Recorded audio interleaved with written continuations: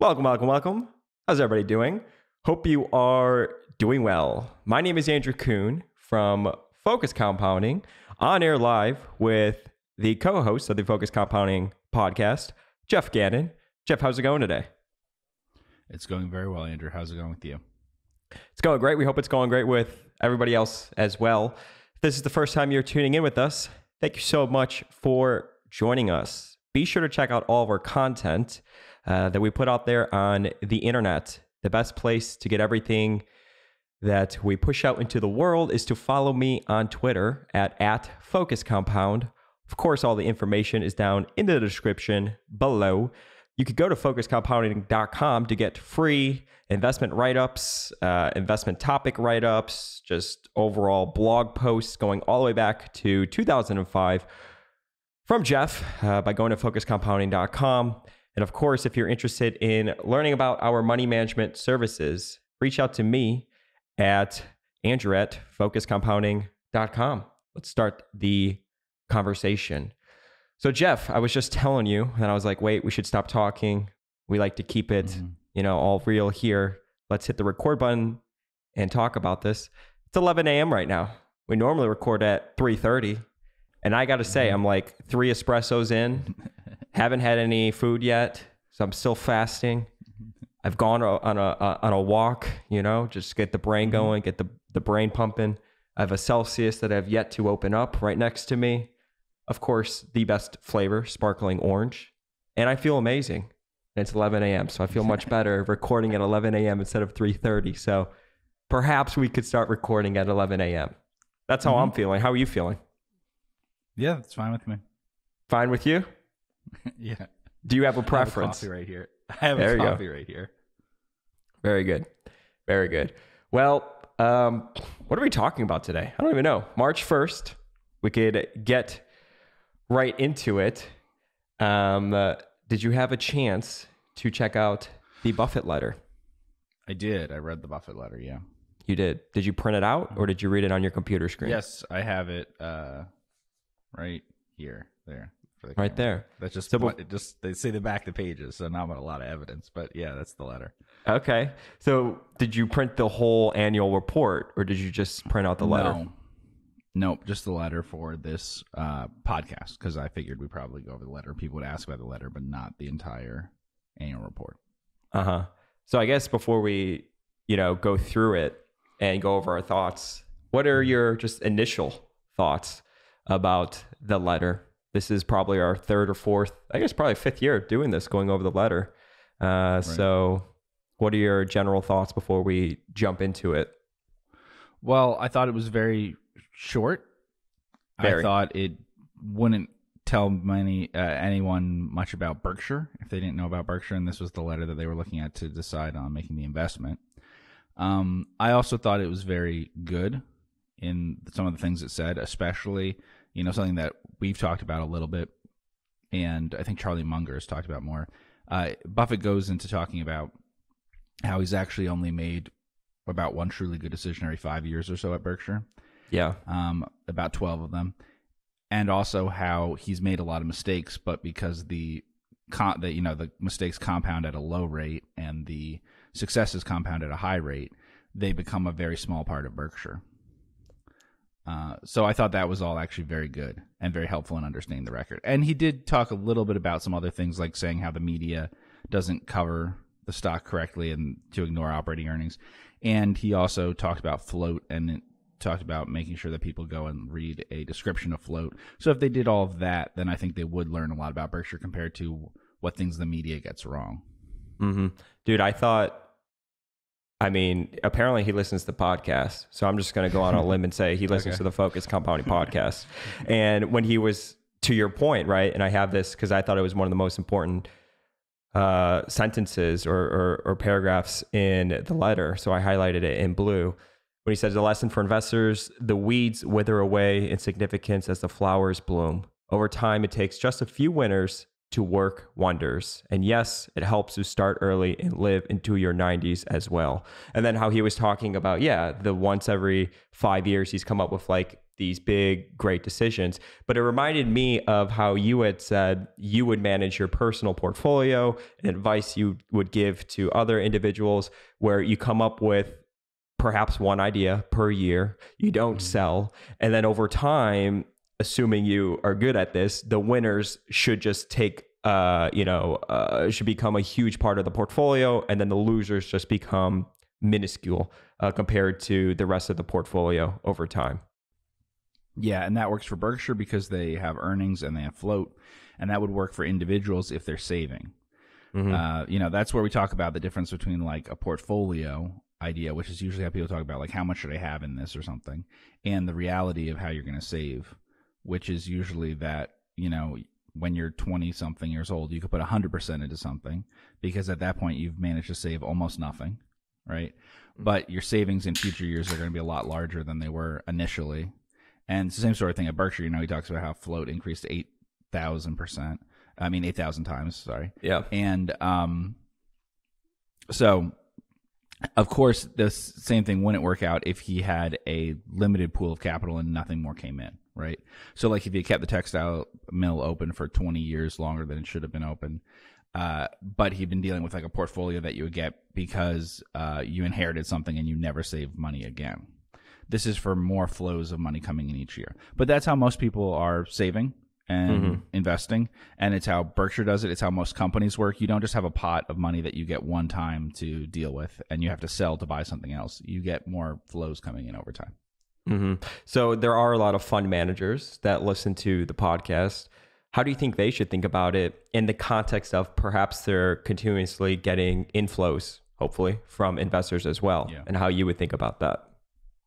Yeah, I mean that's the problem. The, um, ben Graham made a, a, bit more than half of his money, made most of his money from his Geico position because he agreed to buy Geico for the fund. It was distributed, and he took his distribution of it, and he never sold it. He just viewed it as a different kind of stock, didn't sell it, right? So he actually made more money from that than he did from managing money that way. Uh, Bill Miller, right, invested in Amazon and so with the fund and everything has always held it, but it's trimmed it back to whatever five percent or whatever the the normal thing for a mutual fund would be. So made a lot of money over it over time, but of course, if it just had held it since you know first buying it, would be doing much better than if he you know did all the decisions that he did since then. So the problem is a lot of this can't be applied that well to the approaches that that um, money managers have, right? Because it's not what people are looking for that way. Um, so I, I don't know the answer to that, except you know it's difficult. Sequoia over the years um, had Berkshire, you know, and trimmed it back and everything, so it can still contribute a lot to your results, but it's not going to have the same. It's not going to have the same um, sort of uh, contribution over time that way. Um, Buffett also talks about how the rest of his decisions were, you know, um, on average didn't add or detract that much, right? So that is one thing to keep in mind is that like churning the churning the smaller parts of, parts of the portfolio might not matter that much for um, fund managers to think about. So if you have, you know, say you have a fairly high level of concentration, so you have, you know, um, your top 10 stocks or something account for 50%, 70% or whatever of your portfolio. What you're doing in the other part is probably churning it even faster than the part that you have the bigger positions in, and it probably is one the ideas aren't particularly good or particularly bad, you know, as Buffett's experience has been, and two, it's a smaller percentage in each of them. So it may be that the portion of your portfolio you're churning more is you know less important that way, you're spending too much time thinking about that. Hmm. And when he talks about the you know one idea every five years, right? I mean, this line right here, he he reiterates how they are not stock pickers; they are business pickers. And I think when you think in the context of the portfolio and how he thinks about, well, you have this flow coming in, and how over time your winners should um, make up for all of your losers. It's just an interesting framework that I think a lot of people don't um, you know, sometimes think about. I mean, sometimes like I got flamed on Twitter because I was talking about how, and I knew this was going to upset a lot of people, but I was saying how you should approach from like a framework perspective, doing research on mm-hmm. a stock as if you're going to acquire the whole company. No, you're not ever going to get to go and sit in like a special office where they have all their financials with a bunch of lawyers and accountants and be able to go and do that level of due diligence. But basically, what I was trying to say is, I believe most investors, when they approach a company, they're truly thinking about it more so from like the numbers and how the numbers work and and doing all this Excel monkey work and stuff like that, as opposed to thinking about well, if I was going to purchase a whole company, guess what I would be thinking about? Who are your customers? Who are the competitors? And really thinking about like understanding the relationship from those two, you know, perspectives or whatever. Um, so I had said, you know, you should approach it as if you're going to acquire the whole company. Of course, mm-hmm. I mean, I'm under no illusion that you will never be able to do. They're not one and the same. However, I do think it's a good framework because I think it gets people away from thinking about just the numbers and really starts to uh, get people to think more so about like everything we talk about on the podcast, right? Like the competitive advantage, how durable is the business, but more so the customer and competitor decision making. Because one of the best things we've ever said, and I think it's so true, is that you can't understand a business until you understand those two things, right? The decision making that customers and competitors both make. So when Charlie or when Warren and Charlie speak about not being stock pickers and how they're business pickers, they're not thinking of stocks like oh we have a 10% position in our portfolio and we should trim it back and we're managing this, you know, this beta and blah blah blah blah blah. It's really they're investing in businesses, right? So what does that mean to you when they say yeah. we're not stock pickers, we're business pickers?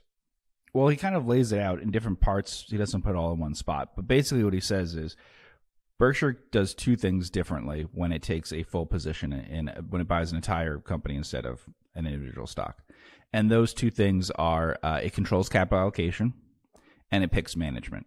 Mm-hmm. And so where you're saying, you know, people are are saying um, it's not the same thing buying a stock versus uh, buying the whole company. It's exactly the same thing except for two things you don't get to select capital allocation and you don't get to select the management. Now, in exchange for that, Buffett says you can get a bargain price when buying pieces of a business. You'll never mm. get a mm-hmm. bargain price buying the entire business. That is, I mean, they won't knowingly sell to you at a bargain price. They will knowingly sell a stock to you. I mean, we've had that happen that people believe that they're selling you too cheaply, but they'll do it. But but they're probably not going to do that except, as he says, except under duress if they control the company. So, in exchange for getting a bargain price, you give up control of capital allocation and picking the management. So, that's one reason why Berkshire focuses a lot on capital allocation and management when buying stocks because then it doesn't matter as much that they don't have control of that, right? So, like when they bought a piece of Capital Cities, in the market, a small amount, and then they sold it later, um, just in the public markets. That really isn't different for them than when they got a uh, very influential purchase that would have given them a lot of control over Capital Cities ABC when they merged together because they didn't they liked the management and would have wanted to keep it and they wouldn't have wanted capital allocation to be any different. So it's better for them just to buy as a passive buyer in those cases. So um, I think that that's the approach that we always use uh, certainly the approach that I always use is to the big mistakes have been not buying something because uh, buying some, not buying something that I certainly would have bought if I was offered the whole company, right? So I've, we've talked about that before, right? So like that's why I say um, DreamWorks Animation or something was a mistake because it's not that it went up all that much or whatever before being sold to someone else, but if they'd said you can buy the whole company, here it is for this amount, I would have said okay, I'll buy it. Um, as would have you know a lot of other studios and stuff. So that's buying the whole company um, the, the a lot of people get caught up on the difference between the two, right? And mm-hmm. I'm not sure how big the difference is. It's difficult to calculate because, for one thing, you don't know the way in which you'll get your return. So most people kind of assume uh, a continuation of the status quo sort of thing. So you look at a company and they always assume, oh, well, it'll stay public and it won't change its policies about dividends or whatever. It won't get bought out. Management won't offer to buy it out. Someone won't try to buy it out. Uh, people who are involved in it won't die, merge it together, whatever. Okay. But at some point they will, and whatever gap there was will close, you know, instantly at that time. So that's always one of the arguments. I've invested in companies where management controls all of the company um, I mean, I've invested in companies where management controls more than 90% of the shares, owns more than 90% of the shares. Um, and in cases where the company's gone private because management has taken them over, which has happened in a few cases, uh, you know, you've gotten well compensated. So eventually, you've gotten a price that's closer to the fair price that you'd get. Um, sometimes management participates in buying out the company. Sometimes management has to be given different things on either side, whatever. Um, but you know, the, eventually the the only way to think of the asset is what it's worth to people, you know, economically in general. And so, if you get too far away from that, then you're thinking about like, well, what can they report in earnings or something? That doesn't matter. You know, that's why cash flow matters and those things because these things matter not because we say that they matter and it's magic that this works out this way, but because that could be used in some way by owners. It can be used to pay debts. It can be used so so it can be used to finance a deal. Mm-hmm. If something's strategically important in the industry, then it has value, even if it doesn't have value um, in terms of reporting earnings today, right? So all of those things matter a lot, and I don't see any other way of doing it except asking what's the value to a private owner. I mean, that's also something that Buffett, Munger, others have talked about.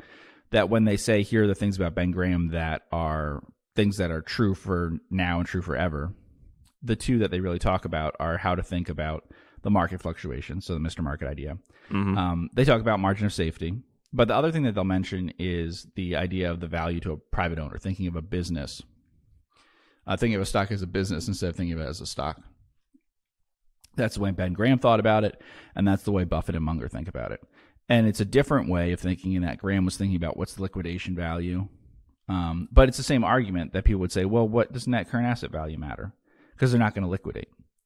But ultimately, the fact that they could liquidate, that that would be a better use of the company, means that you'll get a, a better return in from that. So that's why looking at the entire company, looking at the stock as as if it's the company um, makes a lot of sense. And I don't see another way of doing it. I don't have a better method for how you would do it that would make sense. Um, now, over very short periods of time, sure. Like, mm-hmm. you know, over one day, then if you're buying an option that expires at the end of the day, then you're just going to use um, zero uh, days to expiration, baby. yeah. So you're just going to assume random movements, right? Mm-hmm. But that, you know, um, but over longer periods of time that you know it's just common sense in terms of the business and how the business does. And that's all that's going to matter in the really long term. Are you generally pretty skeptical of management buyouts? Like in those situations right? We talked a little bit about this last week especially in net nets how well they could buy out your net net for 100 or 200% higher and then you could still be mm-hmm. upset because you're like well it's actually probably still worth 3 or 400% higher yeah, uh, I mean, I'm not as I'm, I'm not skeptical that they'll happen. I, I do believe that management will buy out their shareholders in a lot of cases, especially in places like the U.S. and stuff where it could be aggravating to be a public company. Um, yeah, I think that that that happens a lot. I, have been in situations where it's happened. Uh, yeah, you don't get as good a deal, sure, mm-hmm. um, because it's not being shopped around. Management can block it from being shopped around, but you know sometimes you get a pretty good deal. Um, so examples of like management buyouts we talked about. Um, you know, I, have talked about in the past BancInsurance, which was eventually taken out at less than book value, um, but at a very high, but at, you know, almost uh, close to hundred percent premium, eighty to hundred percent premium over what it originally had said. Um, some things in Japan I was in were taken over by management. Um, Hunter Douglas we talked about, right? Mm-hmm. And that that stock there were three, four attempts over 15 years to take it private, and then finally they did with also getting a little skin in the game for taking it private too. So not 100% taking it private, but sort of um, that helped, I think, finalize the deal. And then um, we also talked about Cambria, the mm-hmm. automotive company in the, in the UK. And that one also, you know, you got a higher price than you had before, but you didn't have an amazing price. But on the other hand, how bad's the price if you compare it to like Vertu or or other UK car dealers because they've all been valued at less than five times EBITDA for seven, eight years or something now. You know, some of them um, they haven't consistently traded over five times EBITDA for any one year that I can think of. So you could say, well, the price was what they would get in the public markets, but that is what Buffett's talking about. Unfortunately, management is taking advantage of the individual shareholders the way they think about stocks as opposed to the way they think about entire businesses. By announcing a deal, you can in stocks like Hunter Douglas to a point, although at the end they couldn't. I mean, they got left with the shareholders who would never sell no matter what. You know, that's what ended up with them, which made it hard.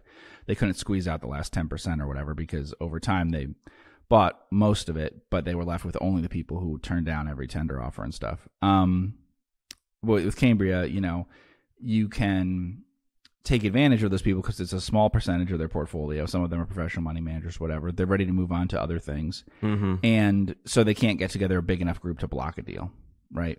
Whereas if they were um, people who are members of your fa- an extended family that also own those shares or something, and you said, well, I want to take it over from this small group, it wouldn't work because they would view the stock differently. But because it's a publicly traded stock, you, people in publicly traded stocks are going to be taken advantage of by the majority owner or by potential buyer or even LBOs and things because you can just offer 30% above the past market price and take it Yeah. um, Mhm. private in a lot of cases, yeah. Regardless of how cheap it was. So it could be it could be worth 10 times what it's selling for. You offer 30% more and you've got a good chance of taking it private. Mm-hmm. Crazy.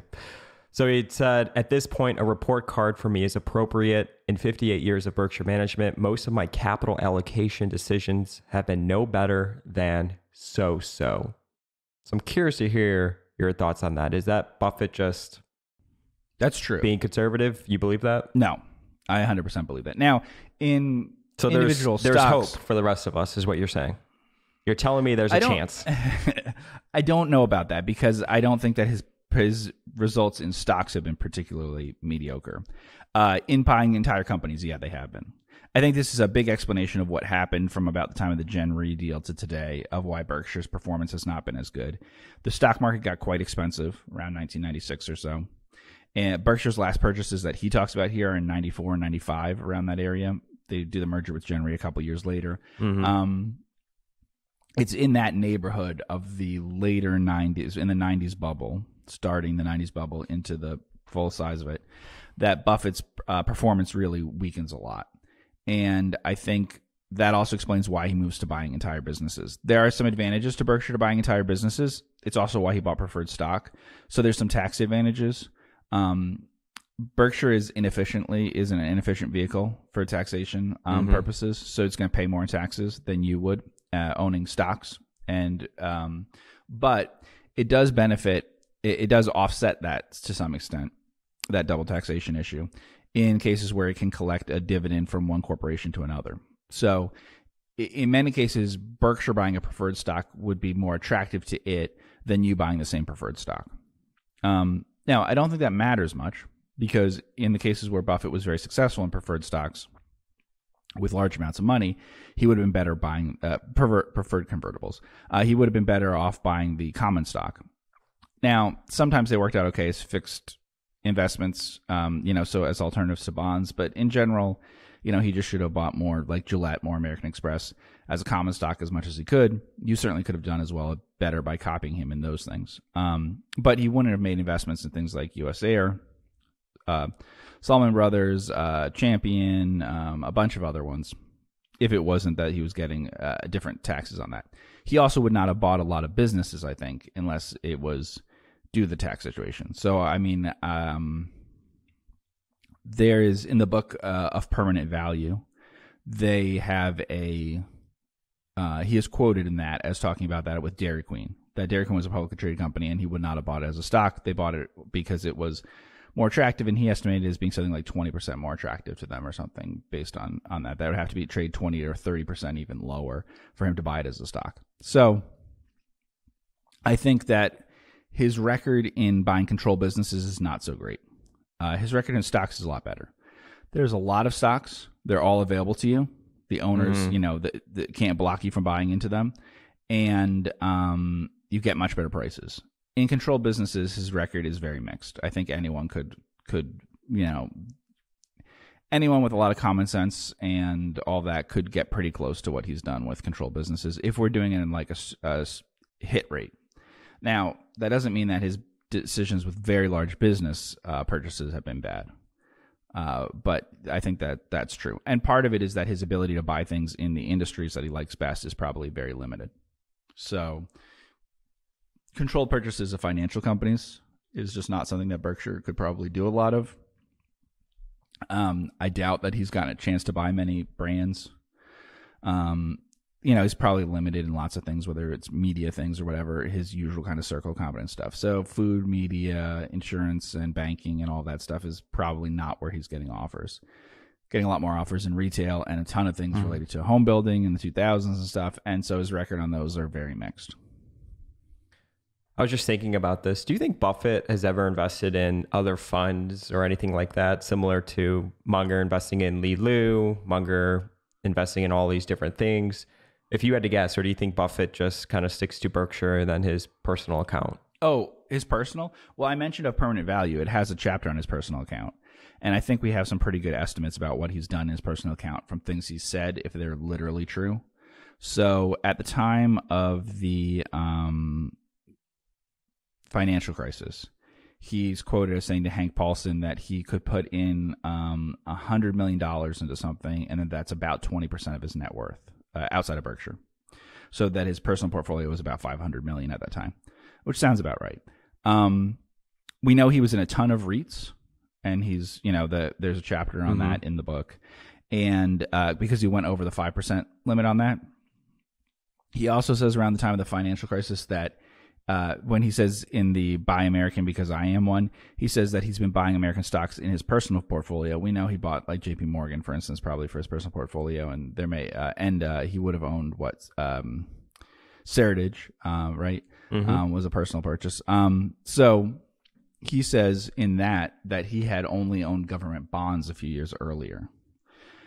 Judging by that, we would know that in the earlier 2000s, shortly after the um, blow up of the um, dot com stuff, he was in REITs looking for them to liquidate and some liquidating stuff. There's also like a, there's a couple other stocks we know of. They're not mentioned in the book, but I remember reading about them, which was a liquidation and stuff. So he was in special situations sometime in the early 2000s. Then he's out of those and only in bonds by the financial crisis. Um, we also know he was in Korean stocks because he picked those personally off that manual. Um, and said they weren't appropriate for Berkshire. That was also early 2000s. So we have some information about like early 2000s stuff mm-hmm. for for uh, Berkshire. As far as being in funds and stuff, no, I believe he's never been in funds or anything like that. Berkshire itself has been has participated in funds run by other people. There was an arbitrage operation that they invested in and some stuff like that. What was that situation? Yeah, and I was just curious, like from a private perspective, they just, like, if he's done anything they basically just like seeded someone. There are some things in insurance and um and things like that. So they're they're people that they've basically I I mean we don't know all the details of it, but I believe that they ran a arbitrage operation that would have been like what Buffett was doing. Buff, Buffett would have been doing himself, um, similar to what investment banks would do. Mm-hmm. Um, they had some stuff with Leucadia, which I think would have been similar to.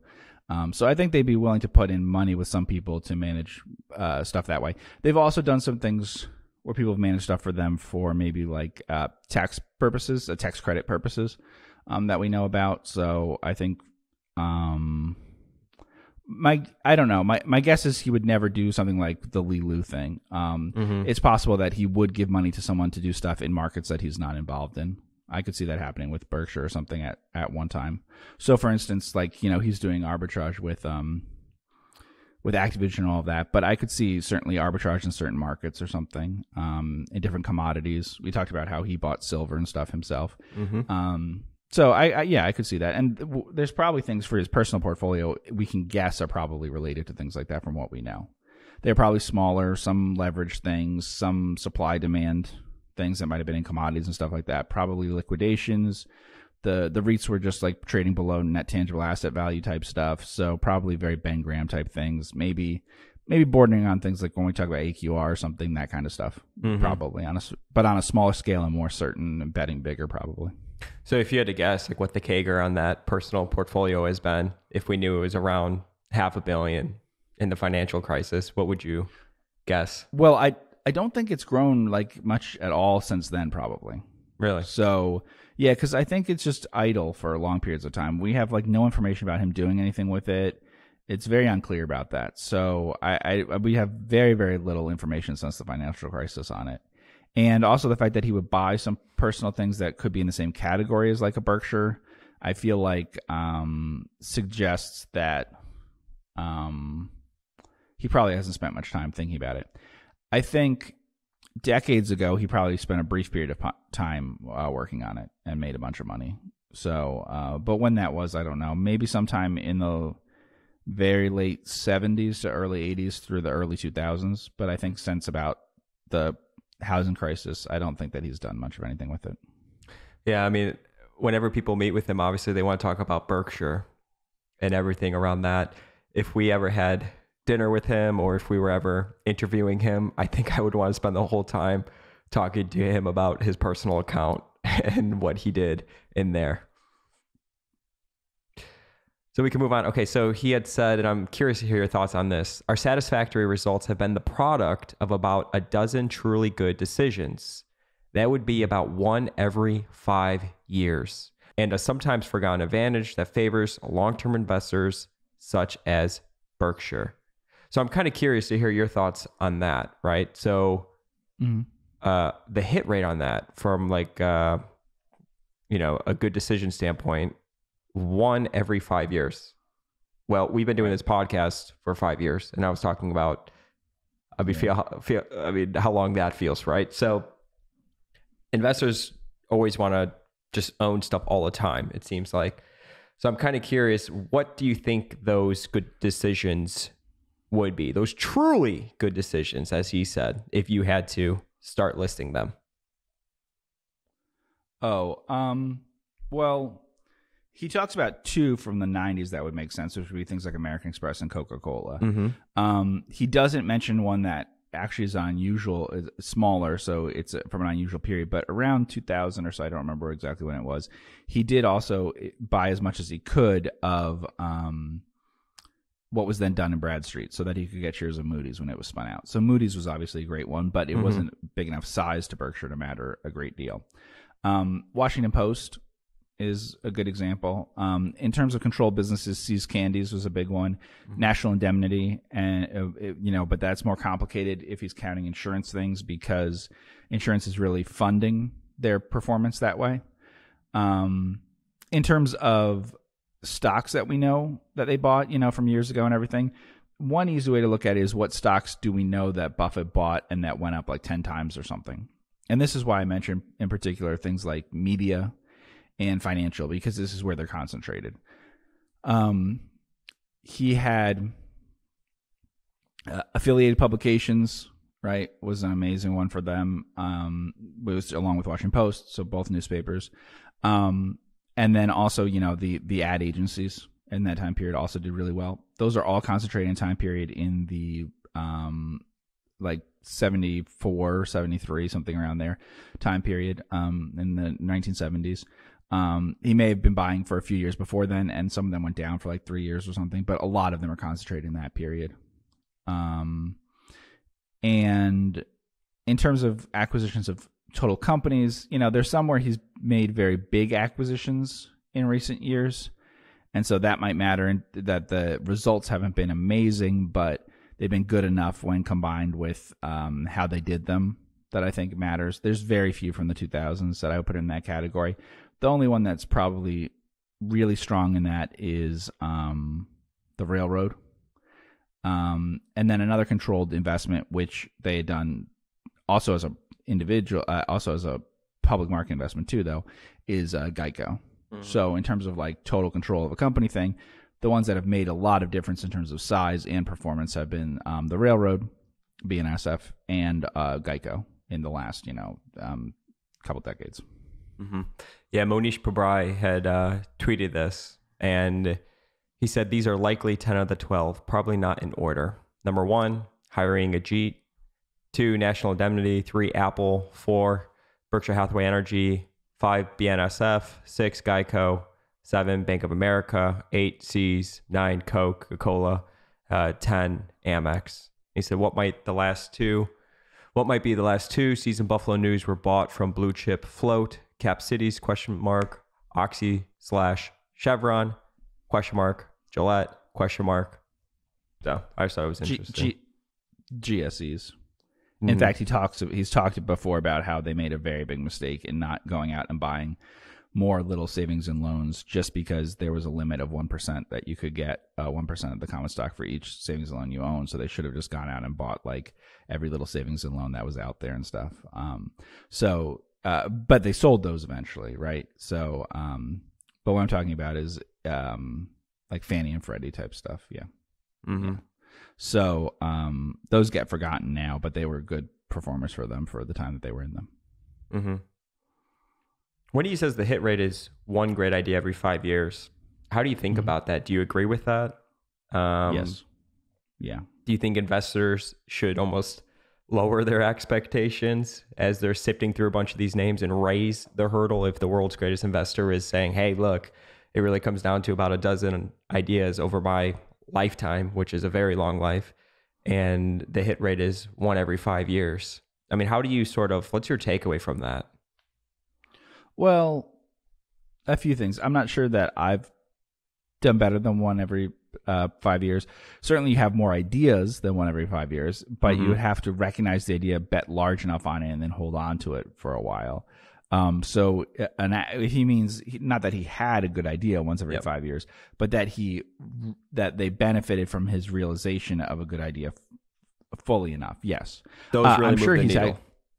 Yes. Well, we're talking about the personal portfolio. He could come up with ideas for his personal portfolio, but Mhm. they can't move the needle. So that's part of the issue is that Berkshire's too big. Uh, the other part is that there's long stretches of time in which he doesn't have any good ideas. So, you know, um, from the late 1990s through about the financial crisis, Berkshire has virtually no good investments that it made. You know, like I just mentioned, uh, Dun and Bradstreet or something is like the only thing that they did.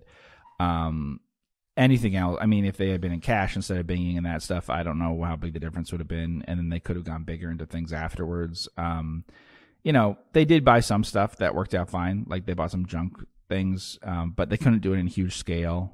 The market was just expensive, you know? Mhm. Um, and so that's very difficult. When they're using almost all their money to buy private businesses, it probably indicates that the public markets are too expensive for them or that they just can't find things in what they want there. Um, and so they have to resort to that. And he says that you don't really get good prices on that. So that's how he's judging it. I mean, Berkshire's outperformance, you know, which they cover in the first page, uh, in market value versus the S and P is ten percent. So at times, Berkshire's been uh, leveraged about one point five times to to one. Uh, however, there's long stretches of time in which, as best we can gauge his performance in stocks, it's about 20% a year. So the stock performance is actually similar. Uh, Buffett's stock picking at times has been similar to Berkshire's return, even though they use leverage. So what's happening with it? Uh, the the leverage, in effect, is leveraging okay prices on the business side, right?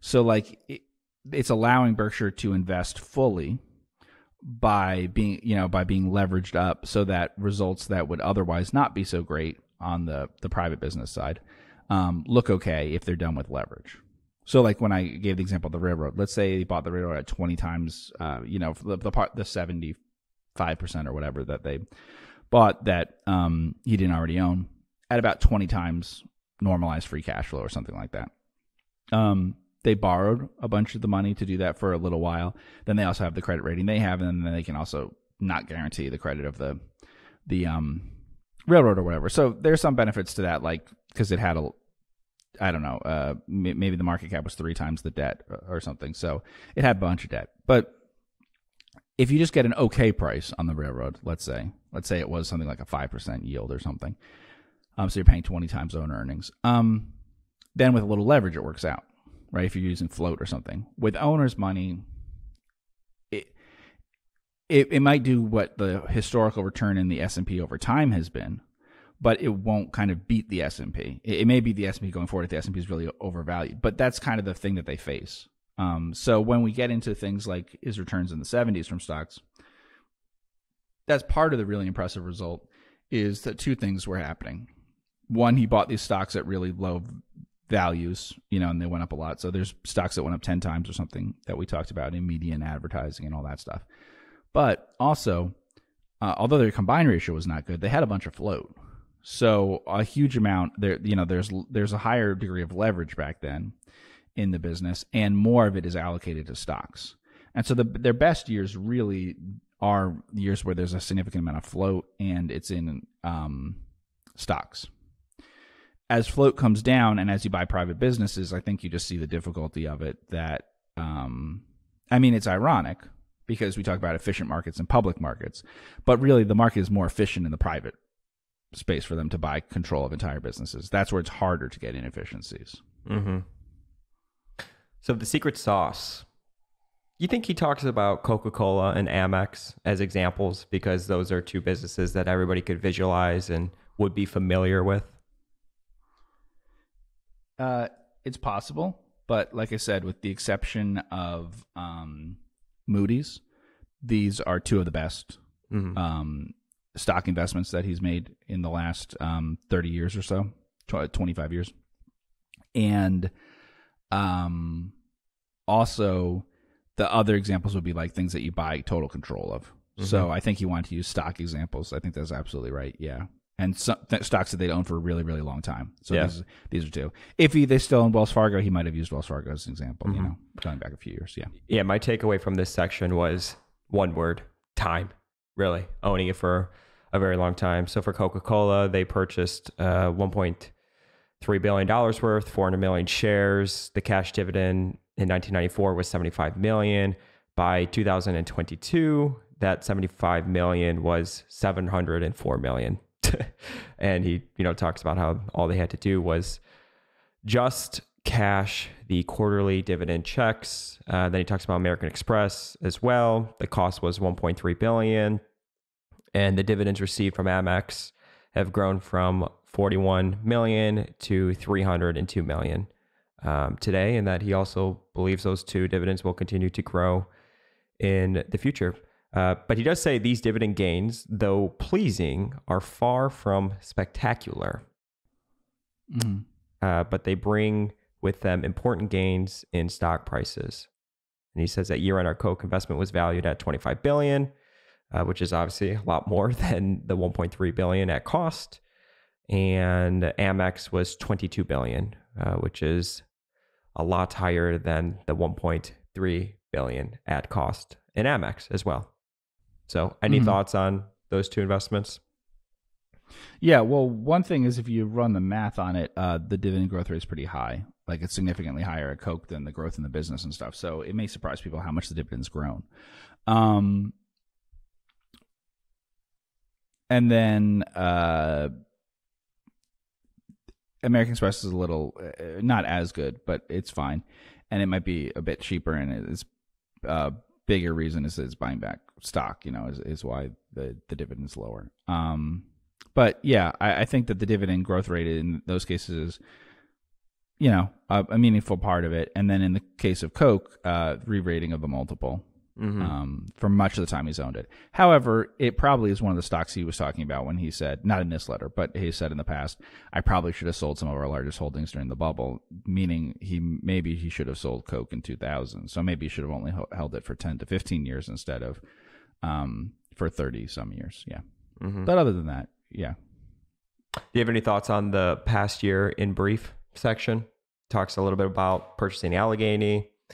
Uh, we've covered that on the podcast. I did think it was interesting when what you hit on earlier. Since purchasing our first property casualty insurer in 1967, Berkshire's float has increased a thousandfold through acquisitions, operations, and innovations. Uh, but of course, that's not captured in their financial statements. Um, my takeaway mainly from this was just how important float is to Berkshire's operations and how uh, crucial or strong it's been to the success of the company. Yeah, so there's kind of two things. One is that Buffett's record is pretty close um, to the record of Berkshire, but that his ability to do it in size has only been because of float. So, like Berkshire, if you're talking about Berkshire's record as a stock, it is driven very, very heavily by float. Um, Buffett as a stock picker, sure, if he uh, stayed running a fund and he distributed money every once in a while, said, okay, I'm going to pay this out and stuff, ran, ran it like Renaissance or something, um, then yeah, his record would be really good over a huge period of time, but he couldn't grow to bigger and bigger sizes. The way they've been able to do it is with float. Um, and so the the success of Berkshire has a ton to do with float, and the miscalculations of the value of Berkshire always have to do with people saying it's like a closed end fund and all that, which it has nothing in common with those things. It's like a bank or an insurer or something like that that's able to get money at low cost and then earn a spread over it because uh, you know it has so much money in float that they talk about there at such low cost that if you turn around and you invest that even in things like uh, bonds then you could make a lot of money. And uh, I think you know, obviously, people don't think about that. There are some calculations that people make of the stock, not people who are probably listening to this podcast, but who but basically just valued in terms of liquidation thing, which would look at things like price to book and all that. But effectively, let's say it has a hundred. You know, this is a hundred. Um, what does he say? They have up to 160 some billion in float.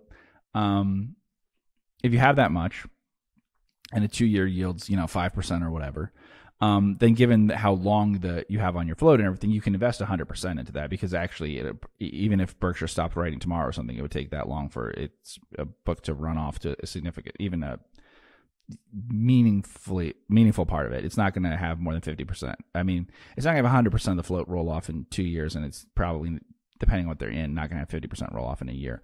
So, um, you know, you're going to earn money on that, which is billions and billions of dollars. You know, the the spread that you're going to earn on that is just, uh, that we're talking about is you know um, is something like you know one and a half billion a, a quarter or something, and that's excluded from the valuation of the company when people talk about it, as if they're using owner money when they're not. They're they're it's the same as using deposits or something. So it's it's incredibly important for Berkshire that it has that float. And he also, with the Allegheny thing, the thing he did say, which is interesting, is like that they will benefit Allegheny from being part of Berkshire because of Berkshire's uh, um, strong balance sheet and their approach, which is basically that they're going to not um, lay off risk on anyone else. Because I think that Berkshire's the only insurer that literally does not pass on risk to anyone else. If you look at like tables of the largest insurance groups, even those that are very very highly rated do maybe just to manage their earnings or whatever um, cede some risk to others mm-hmm. right? So even if they themselves own reinsurers and everything they cede stuff to other reinsurers. Berkshire's premiums and the amount that they're keeping is the same. They're they're they're basically keeping everything for themselves which means that if you buy a company that was ceding some then you're going to keep more of the risk for yourself. So even if they write the exact same amount of business, you're going to keep more on your balance sheet. So it's kind of like if they bought a bank that was selling the loans off to someone else, now they're going to buy that bank and keep all of it for their own book. That's the kind of approach when they buy an insurer. Mm-hmm. So he gets into talking about share buybacks, kind of throwing jabs at the politics of it, and then taxes. Were you surprised that he's? Did you think he was kind of coming out a little bit fiery than normal on this? Or what? Uh, no. Okay. I think the share buyback thing probably bothers him a lot. Okay. Why? Tax. And why is that? Because it encourages stupid and unethical behavior, mm-hmm. right? Because you're taxing something which is an ethical use of it. Um, I think it also bothers him because of some of the ways he's talked about trade, for instance. You'll notice that the way he talks about the buyback being beneficial to everyone, not harming anyone, is exactly the way that people um, 250 years ago or whatever, um, talked about uh, t- trade, uh, talked about free trade and the importance of it. And what what his point is is um, they're not forcing anyone. This isn't a deal. You're not, for instance, it, we talked about management buyouts or something. If you tax people for squeezing out shareholders, that's a different thing. Uh, this is something in which the people who are selling are electing to sell and the people who are buying are buying because they think it benefits others that way. It's also helping to not waste the capital on other things. Um, so it, to him, I think it's the same as if you said, okay, let's tax, um, you know, voluntary trade between people. Um, it, it, and so it's just not a good idea. I also think that it probably bothers him because it, it does encourage not unethical behavior and because you don't really need to encourage more buybacks um, I mean, less buybacks. You don't need to encourage people to not buy back stock. As mm-hmm. we know, um, management is very inclined not to buy back stock. They would prefer not to buy back stock. They would prefer to expand the business, have a bigger business to mm-hmm. um, run, obviously. They would prefer acquiring things. They prefer doing lots of things other than uh, treating their partners who don't have a um, a organized vote often very well. You know, they don't have representation on the board and stuff usually. I mean, they can, in theory, all together as a disorganized group win a vote sometimes, but um, they're basically not very well represented. And uh, they can be mistreated as kind of silent partners because individually, like, um, that's kind of what they become. Mhm. Yeah. So, I mean, this also, you'll notice in the very beginning of the letter, he says something interesting where he talks about individuals. And he The savers is mindset. probably yeah so he says but specifically says individuals. He's probably annoyed with the esg stuff and the black rocks and the vanguards and things of the world um but he decided not to go after them and to say bad things about them. But he i don't think he has good things to say about them anymore. He made a very strong point of saying individuals. I think he's kind of shifted in terms of how he's going to talk about shareholders and stuff. I think they're going to totally ignore passive shareholders and say that they don't count um you know, uh, indexing shareholders, uh, and you know, but to some extent that's his fault because he wanted to get in the S and P. So Yeah, why did know, he slant it? Comes with it. Yeah, no, that's why he did it. Yeah, Yeah, so? I mean, he may have, he may have, yes, he may have even written a section and then deleted it or something. But it's clear recently that he's gotten annoyed with all that stuff. Yeah. Um, and I think the share buyback. yeah, goes the same thing. individuals, has- as in not institutions or just passive Correct. owners of the company. Yeah, that's funny. Yes. I didn't. I didn't pick up on that. Oh yeah, Yeah. yeah.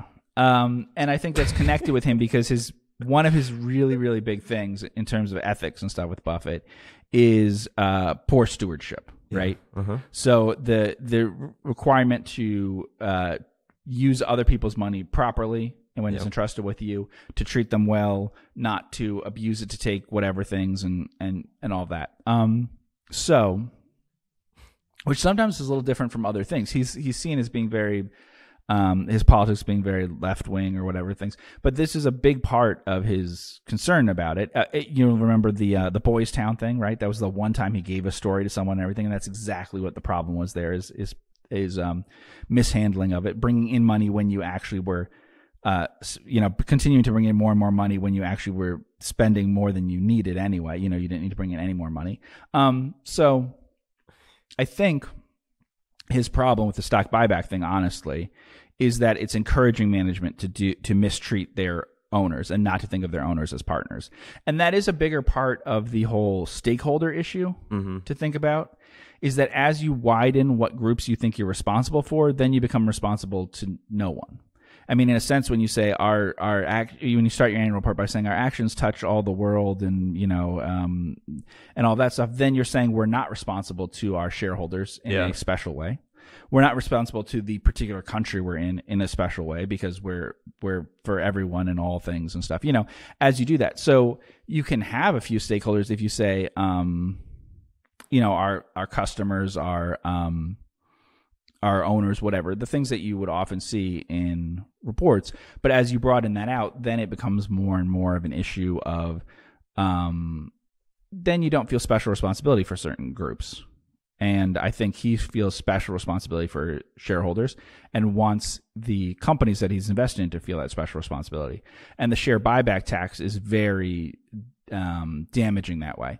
It's a good excuse for people not to do it. And then also, he probably um the other thing is it wasn't talked about a lot because it's a very small tax but that's how all tax you know usually you start as a very small Yeah, tax and then sure. you can change it later when you want to um so yeah i think that that's not something that he's particularly happy about um but i think he's also tried definitely in recent years to avoid uh being as involved in political stuff because he had some bad experiences with that. I think mainly from the early Obama period with the Buffett tax and all that. And so I think since then he's even said sometimes when asked about it, why haven't you said as much about you're supporting this person doing this and I feel this way about this and everything that um, he tries not to call people out on that as much. So Mhm. Hmm. He talks about his um, comfortableness holding a ton of cash. Um, said, as for the future, Berkshire will always hold a boatload of cash and U.S. Treasury bills, along with a wide array of businesses. We will also avoid behavior that could result in any un- uncomfortable cash needs at inconvenient times, including financial panics and unprecedented insurance losses. our CEO will always be the chief risk officer. You have any thoughts on that aspect? I mean, he's always been very comfortable holding cash. Hmm. Yeah. Um. Not really. He the same thing that he said before. The you know again it's a that's a um subtle way of criticizing every financial institution, every investment bank, every whatever who has a designated risk chief risk officer. He's saying the chief risk officer is the CEO. There should be no chief risk officer. All something. And in fact, it. Yeah. Yeah, and in fact, that's something that like government and stuff likes to have is that regulators like to have the chief risk officer and saying that you can't do that. Um, yeah.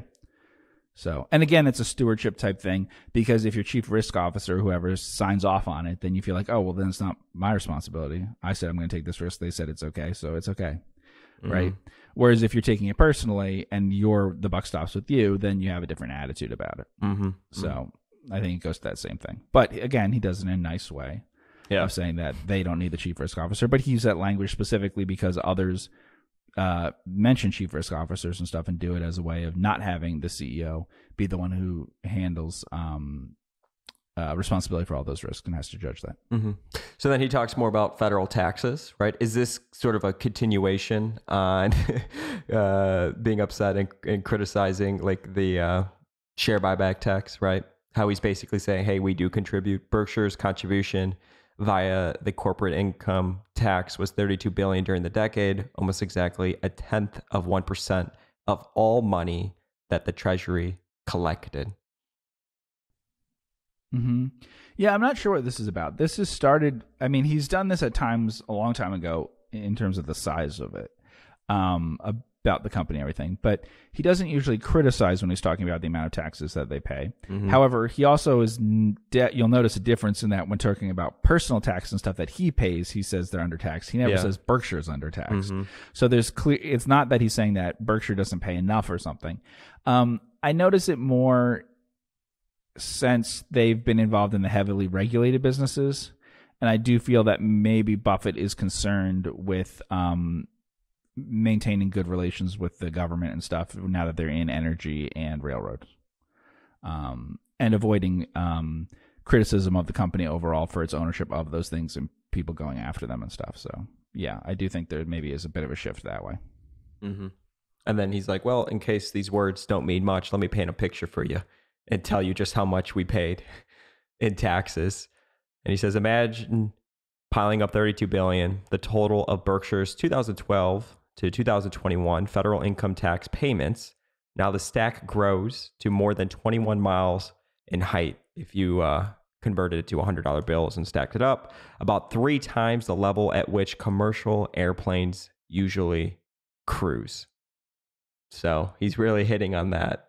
Um, I, I immediately thought to myself, I'm like, so did he just calculate this himself? Has somebody thought through this thought exercise? He just probably ran the math himself and estimated what it would be. Yeah, probably. I mean, if you know the size of uh, uh, bills and stuff, then it's not difficult to do that. Uh huh. Um, there is. I, didn't think about this before, but actually, when I was reading, I did think about it. He doesn't w- get into it much, but it is possible that part of his reason for discussing this a little bit is um, he wants to sound very positive on America's future as a country, at the same time as not being super positive on its um, budget deficit Mm-hmm. and its inflation situation and the likelihood of that continuing. And I don't know what that's all about. If he fears that there'll be higher taxes in the future, or he, or what. But I, I think he has some awareness of of that issue.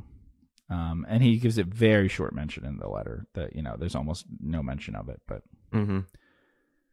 And then he spends some time talking about Charlie. And he had Yeah. said, here are a few of his thoughts, many lifted from a very recent podcast.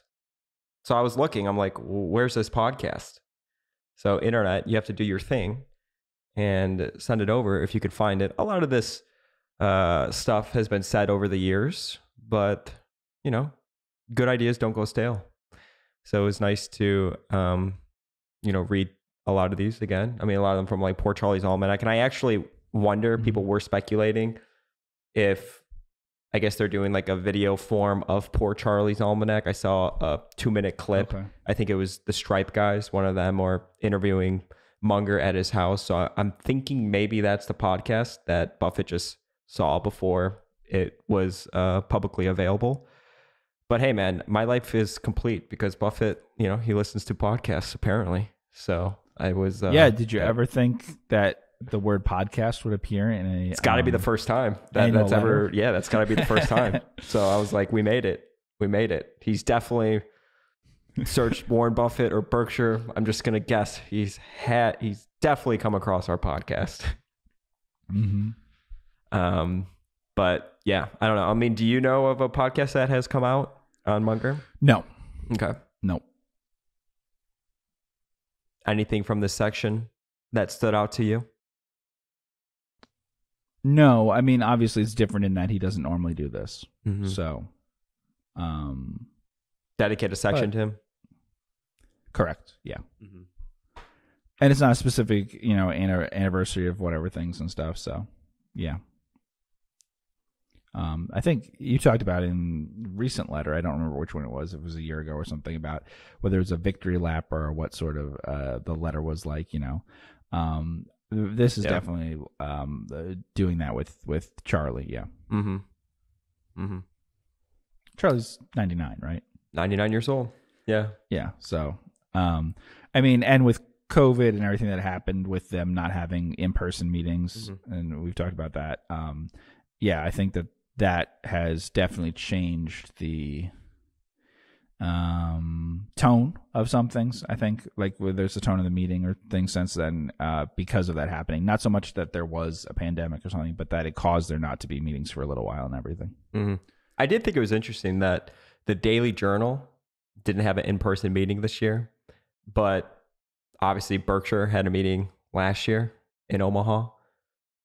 Perhaps that was just a difference of the states that those two companies operated or whatever. But I did, I thought it was interesting. my guess would be that it's Warren doesn't do Zoom, and Charlie is probably on Zoom twenty four seven. Yeah. Um, it's more of that kind of thing. Yeah, Mm-hmm. and Yeah. obviously easier for Charlie. You know, yeah, yeah. Charlie has said that he, uh, he really enjoys Zoom. So Mhm. yeah, yeah, Yeah. maybe right on that.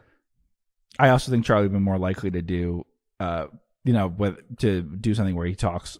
If he can just switch from talking to one person to the next while sitting in the same place that way, um, yeah, no, I think that Buffett definitely would like the crowd and everything there. Yeah, I don't think it's going to go virtual under, um, but well, I mean, it was like basically had to then, but other than that, I don't think it will be virtual during Buffett's time. Mm-hmm.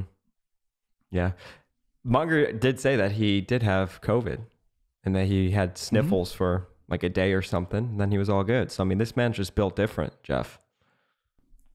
Yeah, he said he had like a bunch of vaccinations and stuff, right? So it was Yeah. later in the COVID thing. Yeah. Uh huh. So, uh, obviously, uh, Omaha this year, he goes through his normal pitch, talks about See's Candies. Uh, I love the plugs about his own product. There was a Um, shocking statistic on See's Candies. Did you see that? uh, About what? How, this 10 sales per minute? How much they sold? How much the weight that they sold? Yeah, when I re- read the first part, I was. It's, it's funny because I read the first part. He says, "What does he say first? Um, 11 tons. yeah. So when he says the ton, that's what it is. Yeah. So he says the tons first. So it's funny because a few paragraphs later he breaks down everything about that. Yeah. when I read the tons, I'm doing in my head like, okay, so how many individual sales is that, and how many, you know? and he does it like two paragraphs later, but because it's an incredible amount, I'm like, okay, so these might be what two pound boxes, and, Yeah. you know, yeah, You're picturing like what a ton looks like. I think like a dump truck. How, how much of that is a ton? Yeah, it's crazy. Yeah, so I I agree with you on what your thoughts were. I was like, uh, it's kind of I don't know. I mean, I've benefited from a lot of Buffett's other letters, so I mean, Mhm. can't uh, judge him. But I agree with you when you had said that you had felt like you didn't think this would be a good representation or learn a lot about Berkshire if you were going to invest in the company right, yeah, to me it just seemed shorter kind of more just things he has said in the past but i mean can't judge the man for that right yeah, and there is a lot about the decisions that they made, Mhm. right, and how the decision. So that part of it is very important, and maybe doesn't get explained enough about Berkshire. Um, I'm not sure all the reasons for getting into discussing it that way. It's always interesting about why I choose to discuss what topics in what year. Mm-hmm. Um, so I like that kind of stuff because otherwise we just have discussions of share buybacks or whatever things. He does do a good job of making the letters timeless so that when you have an entire collection of them and read it, it makes sense. Um, we don't appreciate that now because we read the 70s or 80s Yeah. letters and, and don't think, oh, why is it not just constantly about inflation and stuff? You know, we don't read it and go, oh, why isn't he discussing Watergate? You know, Mm-hmm. but when we read the, the, because you don't think about it back then, but, um, when we read the, letters during COVID and stuff, it was not- notable how little specific discussion there was of COVID and how little specific discussion there was of inflation. There's a little bit more of that at the annual meeting, but he tries to stick to things that are not just like that one year type discussion. Mm-hmm. So there is the share buyback thing, which is specific to now Yep. in it. I think the more timeless thing that's in it is this discussion of how few um, purchases that they've made have mattered so much Yeah. and how others have not done so good. He even says, um, I mean, he says two things. One, he breaks down if it didn't do well, like if it got bond like returns, how small a percentage it would become over time. Mm-hmm. Uh, uh, and and he breaks that down for people, which is helpful. But then he also even says um, something like, uh, does he say, um, I don't remember if he says, uh, he uses a pretty large number, uh, a pretty large word describing the number, like a great many or whatever, um, uh, of the, businesses ha- are not good. They're marginal. He calls them marginal. Mhm. Um, and and that's a recognition that I think rarely is made about Berkshire. That in terms of numbers, there's a large number of businesses that are not very good inside of Berkshire. Um, uh, there's a smaller number of very good businesses that are worth a lot more than book value and all of that, but it's a mixed bag that way. Mm-hmm. So, any final thoughts? Anything else on the Berkshire letter from Mr. Buffett? Uh, nope. Very good. Very good. Well, we could uh, hop over to PowerPoint, but we have some emails, but we're not going to spend too much time on it because I actually want to get into our topic, uh, which came from an email to you. Okay. And it's about this idea of like asymmetry in asymmetric investments. And uh, um, somebody had emailed you saying, I've been reading about Ted Weschler's, uh, Dillard's investment, and wanted to know what's your opinion on the investment. What do you think gave him the conviction that it wasn't a value trap? It would stay at similar or worse prices for many years without being able to obtain a good return. Also, do you think he thought in advance that the return could be as good as it has been? I was curious about that when I was Yeah. reading through this. And then he provided a link where somebody gave uh, a background to the investment that I thought we could use uh, Right. for the podcast. But when did he invest in uh, Dillard's? I remember when the news came out, it was like peak pandemic, right? It was 2020 sometime. And um, what's the ticker for? Is it DDS? Is that right? Yes, DDS. So we could see what has happened. The part that was super interesting to me, Geoff, is if you pull up like an all time Mhm. chart, right? it's, I mean, okay, so 2020, let's say the average, I mean, he bought what around like 30 to 25, 35, 25 to $30 a share, somewhere around there. And this guy goes into Mhm. it. But this hasn't been an investment where it's like, oh, you're just back to pre COVID highs, right? In, you know, 2015 or whatever. I mean, the stock has just gone up multiples higher than it ever has been in its history. So it is an interesting stock uh, to look at and study and try to understand, hey, what happened here? Something that I also thought was interesting, and I'm curious to hear your thoughts on it, right? So Ted invests presumably, I mean, he has an LBO background, private equity, stuff like that, but he presumably invests like Buffett, right? High quality companies. At least that's what he preaches when he talks in public. He did do a podcast, Mm-hmm. uh, I believe in 2021, where he talked about things. It was all about buying the great Right. businesses, right? Munger, the same thing. But you look at a few of their huge winners in life Mm-hmm. have come from almost breaking their rules a little bit, right? When you think about Munger's investment in Tenneco, now you think about Ted's investment in Dillard's. Um, and it reminded me of Munger's quote from the Daily Journal meeting. And this only comes with experience when he said, A young man knows the rules, and an old man knows when to break the rules. So clearly they just saw the opportunity there. Uh, Mhm. But I thought that was interesting because something clearly has changed with the business because it's the valuation is way higher than it's ever been.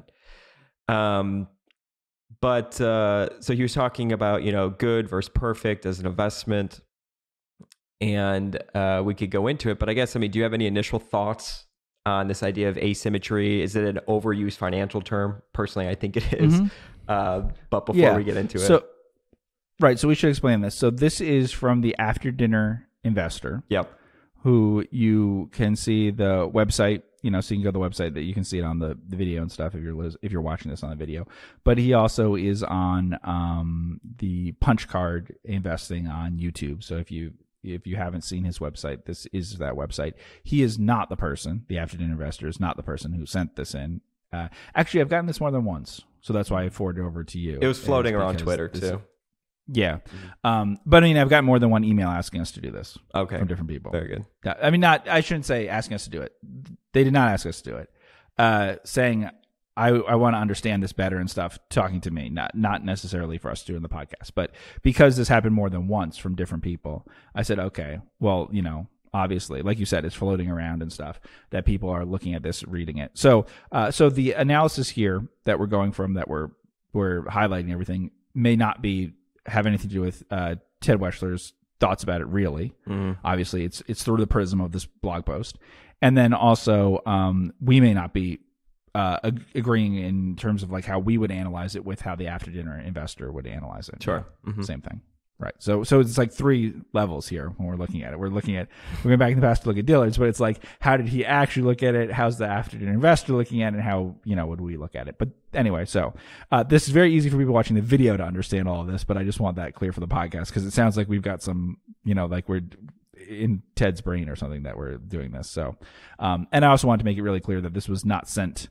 by the author of the write-up you know Mhm. uh, so yeah, go ahead with what you've got highlighted there. So, I mean, I'm just kind of curious. Uh, Do you believe that asymmetric uh, investments come around like frequently? Have you even come across one that you would categorize as being an asymmetric upside or having extreme asymmetry where there was a lot of different ways to win? Do you think about it in terms like that, or do you think about it more so from like a margin of safety perspective? Hey, there's a lot of layers to this. It's trading below book value. It's trading below, you know, private market value. How do you typically think about that?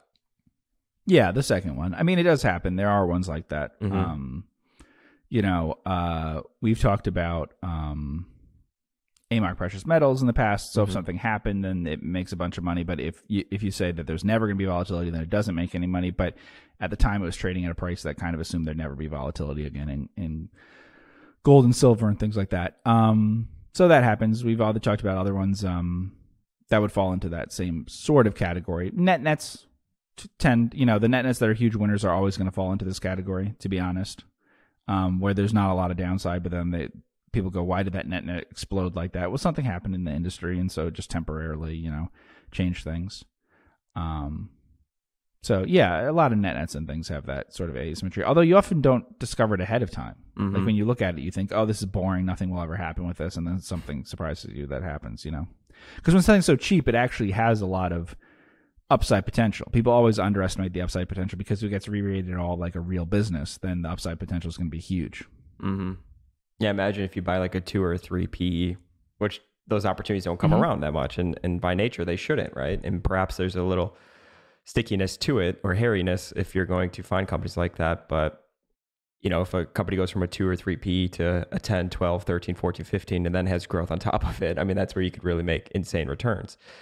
Um, so he talks about this idea of like good versus perfect, and good investment ideas and perfect investment ideas look similar. And then he continues on. He says, but oftentimes the margin of safety is smaller than we think it is. The brand isn't as strong as we think. The real estate isn't as valuable. The product is not as sticky, etc. This is why investing is difficult. Our natural bias is towards action, which kind of looping back to Buffett's one every one big idea that was successful every five years. Yes, he had more ideas in between, but just the ones that really moved the needle, right? Our natural bias is towards action. We want to find investing ideas, so we end up making too many purchases of merely good ideas, and we fail to be patient and load up on the perfect ideas. So to set the stage, this author he does conclude later on that he did think that the Dillard's investment was a perfect uh, investment or perfect idea. Says good looks like perfect. That's what makes things difficult. Uh, but perfect is different. With perfect investments, the downside is smaller than the good investments, and it is also more defined.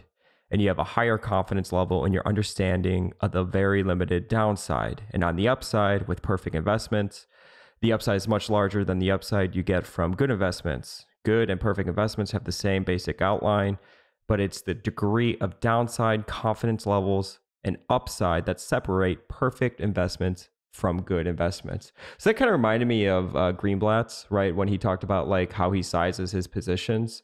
His position mm-hmm. sizes mm-hmm. are not the ones that he thinks he's going to make the most money the most amount of money on or it was the ones that he felt like he wouldn't lose any money. So kind of this idea of confidence right? And we've spoken a lot recently about what does confidence mean in investing. Do you have any thoughts on that section? Yeah, I mean the thing is, it's difficult to know the difference between um, you have a high degree of confidence that something's going to make money eh, that so it's really cheap, and the upside because of that cheapness. So a lot of times, people th- when you think that something is very very safe, you tend to underestimate the upside. So what you're doing is when you're saying, "Oh, this has a tremendous margin of safety," often you're underestimating future circumstances under which it could have tremendous upside because what you're saying is it's really really cheap but I don't think it has a lot of upside. Is kind of what you're saying when you say I'm very certain about this, but I don't feel like it has the the best. You know, like it might not be the biggest winner. But a lot of times you underestimate that, and actually the things are most certain and intended to become your biggest winner. Mm-hmm. So he says, I have a great example of a perfect of a perfect investment. The Dillard's investment by Ted Weschler comes to mind. Sometime likely in 2020, uh, which I remember when the news came out. Uh, Weschler began buying Dillard stock. By September 29th, he crossed the 5% threshold and showed up in a 13G. He likely paid 25 to $30 a share, call it 30. Today, Dillard's is at a $360 uh, dollar share price. And in December, they're going to pay a $15 special dividend.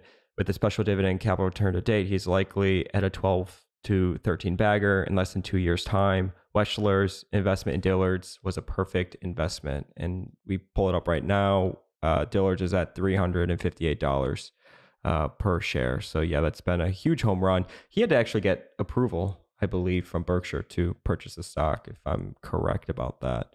Um, not like that's really relevant to the investment, but he continues on. It was a perfect not just because of the result, but because of the situation. In the third quarter of 2020, Dillard's had 22 million shares outstanding at $30 a share. That's a market cap of 660 million. Net debt was 561 million, but tangible book value per share was $63, double the share price. So, despite the net debt, Dillard's was selling for less than half of tangible book value. Why? I believe it was the real estate. On the books after depreciation, the gross property, plant, and equipment was at 1.4 billion. According to their 2019 annual report for the fiscal year ending February 1st, 2020, Dillard's owned approximately 43.7 million square feet of store space across 285 stores in 29 states. That's on page 10. Then on page F10, they say property and equipment owned by the company is stated at cost. That's important, uh, which includes related interest costs incurred during periods of construction, less accumulated depreciation and amortization. This all makes me think that the after depreciation and on the books that cost real estate property plant equipment it's worth way more than the stated 1.4 billion the stores they own the 43.7 million square feet was very likely bought at prices way less than they're worth today and just because depreciation is on the books it doesn't mean those properties depreciated in real world value so do you remember that nebraska furniture mart podcast he did he kind of mm-hmm. talked about, he didn't specifically say Dillard's, but I think the person asked him about finding investment ideas. And I think he had said just kind of they jump out at you reading the newspapers or just reading things that other people aren't reading. And I believe he had said that he was reading a furniture periodical. So I don't think he right. specifically said Dillard's, but he had said, hey, sometimes ideas just kind of jump out at you from just really random places. Mm-hmm. Um, let's see. During fiscal 2019, the company received cash proceeds of 30.6 million and realized a gain of 20.3 million, primarily related to the sale of six store properties. That sentence shows that two thirds of the sale value were gains. So it does look like the properties are worth more than book value. Who knows if those six stores represent the average value of the other 285? Likely not, as they might have sold some of their worst performing stores and least valuable properties. Question mark. Who knows? Well, actually, we can, but just for one thing to people understand, he knows how many square feet they had. They had about 45 million square feet. Yeah. And he knows what's carried on the books at at 1.4 billion. 1.4 billion is 1,400 million.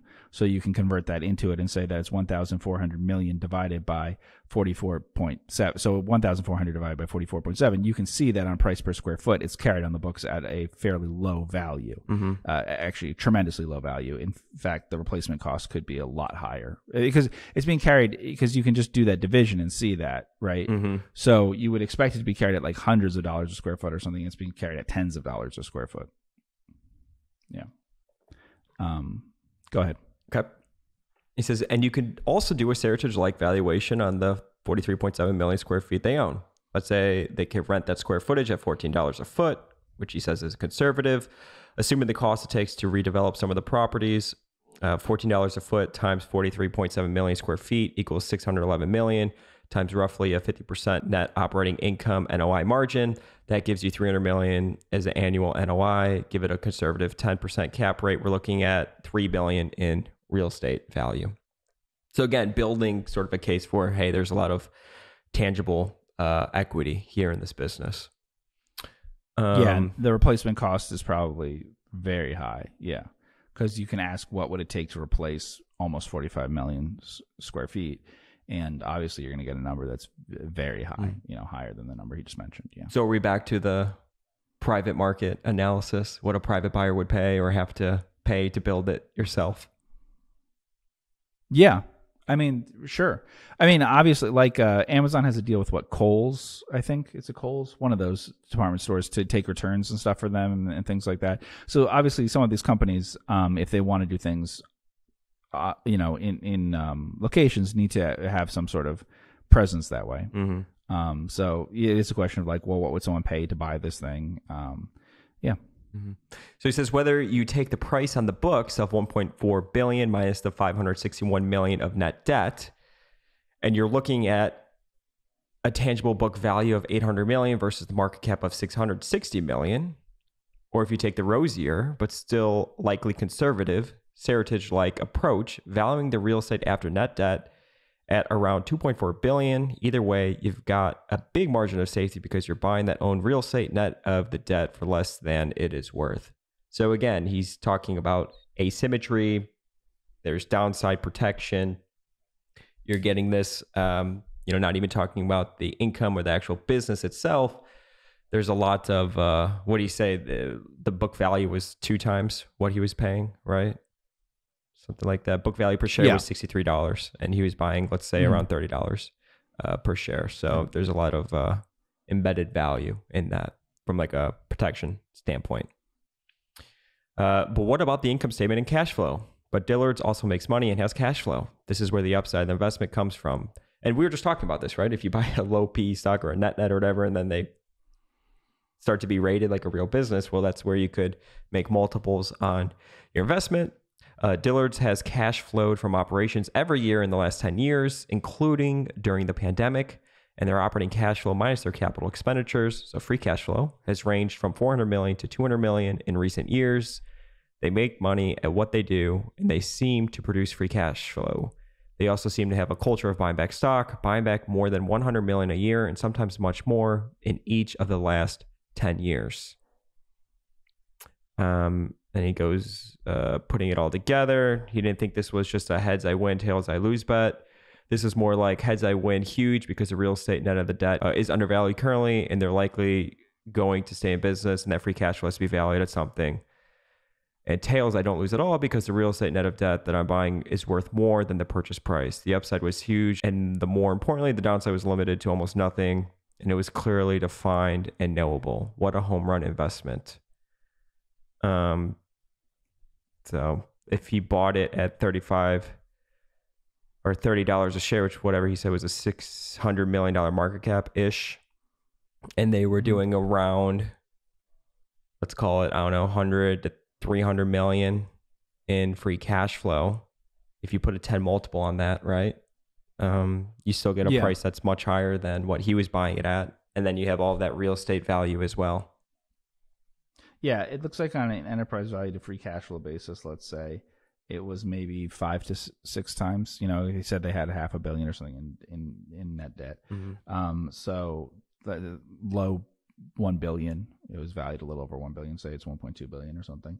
Then six times, you know. So if you're taking the debt together, and then you're and then you're just saying that uh, you're counting the debt, but you're not counting the real estate. Mhm. So of course you could. Um, get rid of some of the real estate and instead put it in um uh, and then you know you'd have if you, if your cash flow goes down and stuff then presumably you wouldn't need the real estate. You could sell that if your business got worse. Um but of course the timing is the issue here. So there's a few things right? One is for the most part if we go back to like if you look at a chart from like the 2000s or something um the uh case against it would be one, it hasn't been valued all that much higher. Mhm. Now, at the very bottom, it actually had been valued a lot higher, not that many years before, but it's often been valued fairly low. Let's put it that way. You know, in the in the 2010s, um, it's not been a particularly expensive stock, so maybe the bounce back won't be as big.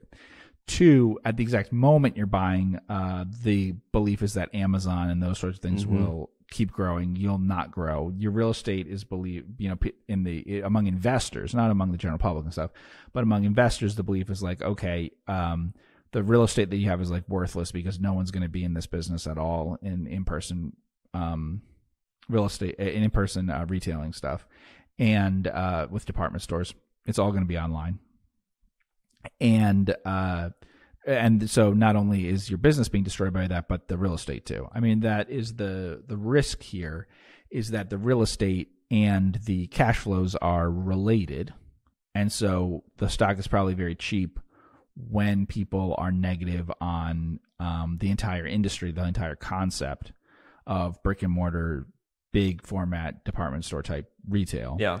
um, because they're negative on you as a business, but they're also negative on like your locations. I mean, don't you remember the narrative, right? In 2020, hey, all these retailers were actually going to fail over the next 10 years. COVID just sped it up. They're done. Yeah. Mm-hmm. So that that's now that was say. not going to happen. Right now, that wasn't going to happen in the case of Dillard's. Uh, it, very very safe. Right. So one, it owned a lot of the Mhm. uh, real estate, like we said, but also had a long history of very positive cash flows, free cash flow, um, which is quite a, lot different than some of the other re- uh, retailers that did fail or came close to failing or whatever. Um, it, it had a lot of uh, free cash flow production over the last 20 years or something. It rarely ever had negative free cash flow, like maybe one or two years. Um, so, and certainly it had operating cash flow all the time. Mhm. Yeah. Now part of that is it owns this real estate. If it had, you know, it owns a lot of real estate. If it had leased everything, then it would be more likely to sometimes go under. Mhm. Uh, you know, go have negative in a single year. Would you put this in that box of being like a complete no-brainer at the time, right? Take the the result out of it. I mean, who would have guessed though that the stock would go, I mean, multiples above like what it's ever, what it ever traded at uh pre-COVID. I mean, Yeah. that's pretty N- pretty no. surprising. No one would predict that, but you know that does happen with momentum stuff. Once once a stock gets a lot of momentum that way, um, obviously it also earned. It, it, it, the market was completely wrong in that the market thought this would be worse than ever for it, and actually it's been better than ever. Right? hmm Okay, so do you have any main thoughts on uh, the Dillard's investment? What asymmetry means? Finding investments with asymmetric upside. I mean, what comes to mind for me is sort of like the power law, right? Of what how venture capitalists think about it. You invest a very small amount, perhaps one of them hits on the roulette table. Uh, but is this different because there was real estate value there? If it gets valued on a free cash flow basis, there's still ways you could win there.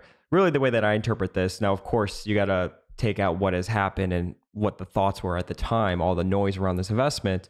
Um, there were many ways to win, right? And do you think it has actually become way more successful than Ted ever thought it could? Oh, I'm sure the stock has been more successful than he thought it could. Yeah, in such a But short period of I- time. uh, yeah, I've never had a good in. Well, I probably never had a good investment where the stock didn't go up faster than I thought. I've had good investments where the business didn't do as well as I thought, and the stock went up more than I thought. Yeah. So you know, you, you get lucky with those things. Um. Uh. I don't know. I, I think there's some differences with it just being like a, um, asymmetric, like we are talking about, about it having some real safety to it. Mm-hmm. However, so if you think about the business at the time that he was investing in it, um, could it fail? It's a retailer. What would that look like? Yes, it could, but it would happen slowly. It would be like Sears. Um, Sears was always an interesting case that way, but also, you know, J.C. Penney. Um, That's what I was gonna say. Is So, there like, a I recency live- bias in this? Right, you could look at like Sears, Seritage, J.C. Penney, all these other ones. I mean, the graveyard is a mile long of retailers. but they were, but they were particularly dumb. They were like aggressively dumb, um, in, in that they had to keep doing bad things year after year after year, not change what they were doing, and make a lot of bad decisions that way. And if he knew that what management was doing here made a lot more sense, then it would be uh, fine. So yeah, there are ways to to fail, but it, it would be hard to fail quickly. Um, that's always the scary thing about these retail things with Sears or anything else. If Sears was going to operate as a retailer all that time and double down on and everything, then yeah, it could all your you could lose everything, and and you did eventually in that, even though there was a lot of value there. Um, several of the so it, you know, but on the other hand, the thing I would compare it to in terms of how it was valued before this was Best Buy, but this wasn't as bad as Best Buy. Uh, Best Buy w- would have required more looking into who was going to turn the company around and stuff and understand it as a turnaround.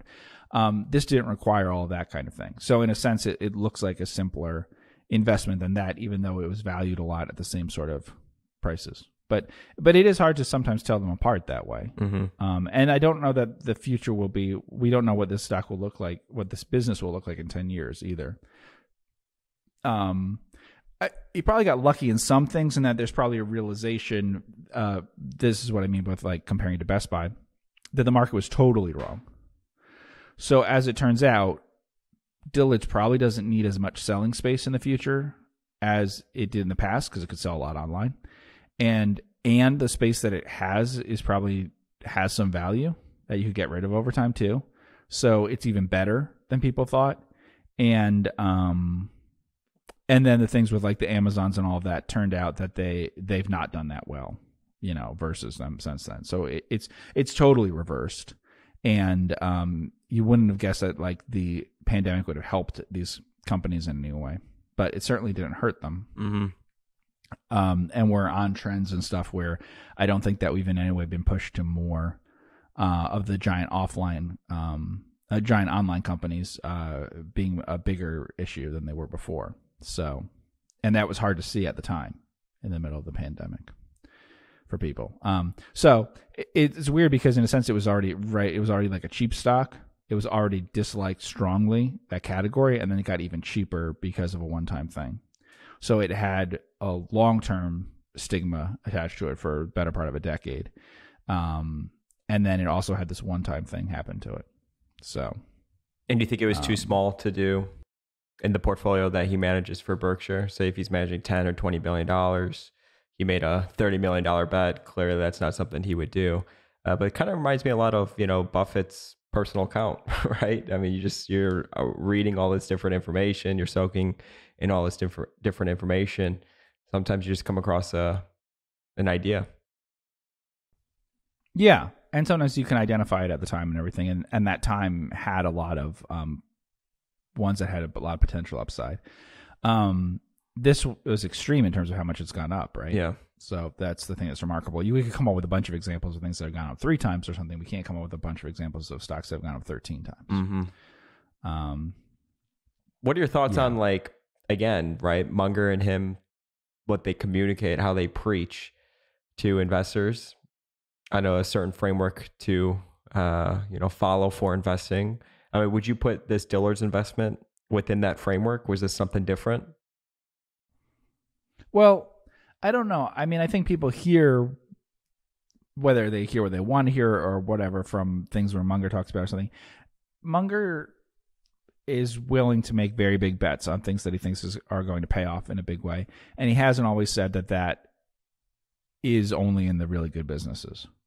Now, um, so I think a lot of that is ignored that they've invested in these other things. I mean, if you think about it, what was Munger in? We know some things about what his partnership was in, right? So, like, we know when it wrapped up what it was in. It was in mostly a uh, trading stamps company, which is an investment portfolio, um, and it was in a, a closed-end fund. Both very, very cheap versus their um, net asset values, and so they were both trading at way below liquidation value. We know that the biggest bet he ever made in terms of percentage of his portfolio, because he put 100% into it, was, uh, you know, presumably he, he borrowed, not Mhm. that he sold everything and went 100% in it, but um, was in a single arbitrage deal with not a huge spread on it and stuff. Um, but one that was almost certain to go through for, for specific reasons um, that would be hard to imagine it not going through. So there shouldn't have been any spread on it, basically. Um, but so we know about those, and then we also, you know, we we talked about one in this podcast. So, um, you know, and people forget, you know, Buffett wrote up a bunch of things on arbitrage, right? Um, he, I mean, he took the time. The Arcata thing, that deal, he he described that in great detail. The the whoops bonds, the um, um, power of bonds with the nuclear power. Um, he went into long description of that. If you go back to the past annual reports, uh, past shareholder letters, so like they've talked about some of them. Mhm. Um, yeah. So I think that those, you know, get overlooked in terms of the other things that they do. What they've said more, they've never said that the way to get rich from a small amount of money is to buy and hold great businesses. They've said the way to invest large sums of money for long periods of time is buying and holding great businesses because you have to keep reinvesting when you have these um, you know shorter term you know because you have to rotate the portfolio more um, and because there aren't great uh, there aren't as many opportunities in very big things Mhm. um, but you know when he was asked how do you make 50% a year you know like put that with buffett he said that you know he would go a through z and very small stocks and uh, he didn't say very the best very small stocks or Mhm. something he said very small stocks you know um, so, and they've told stories like the Duck Club story, Yeah. and you know, so so they do tell these stories. Uh, or or how about Charlie? What was his biggest mistake ever? Right, his biggest mistake ever, he said, is an oil company.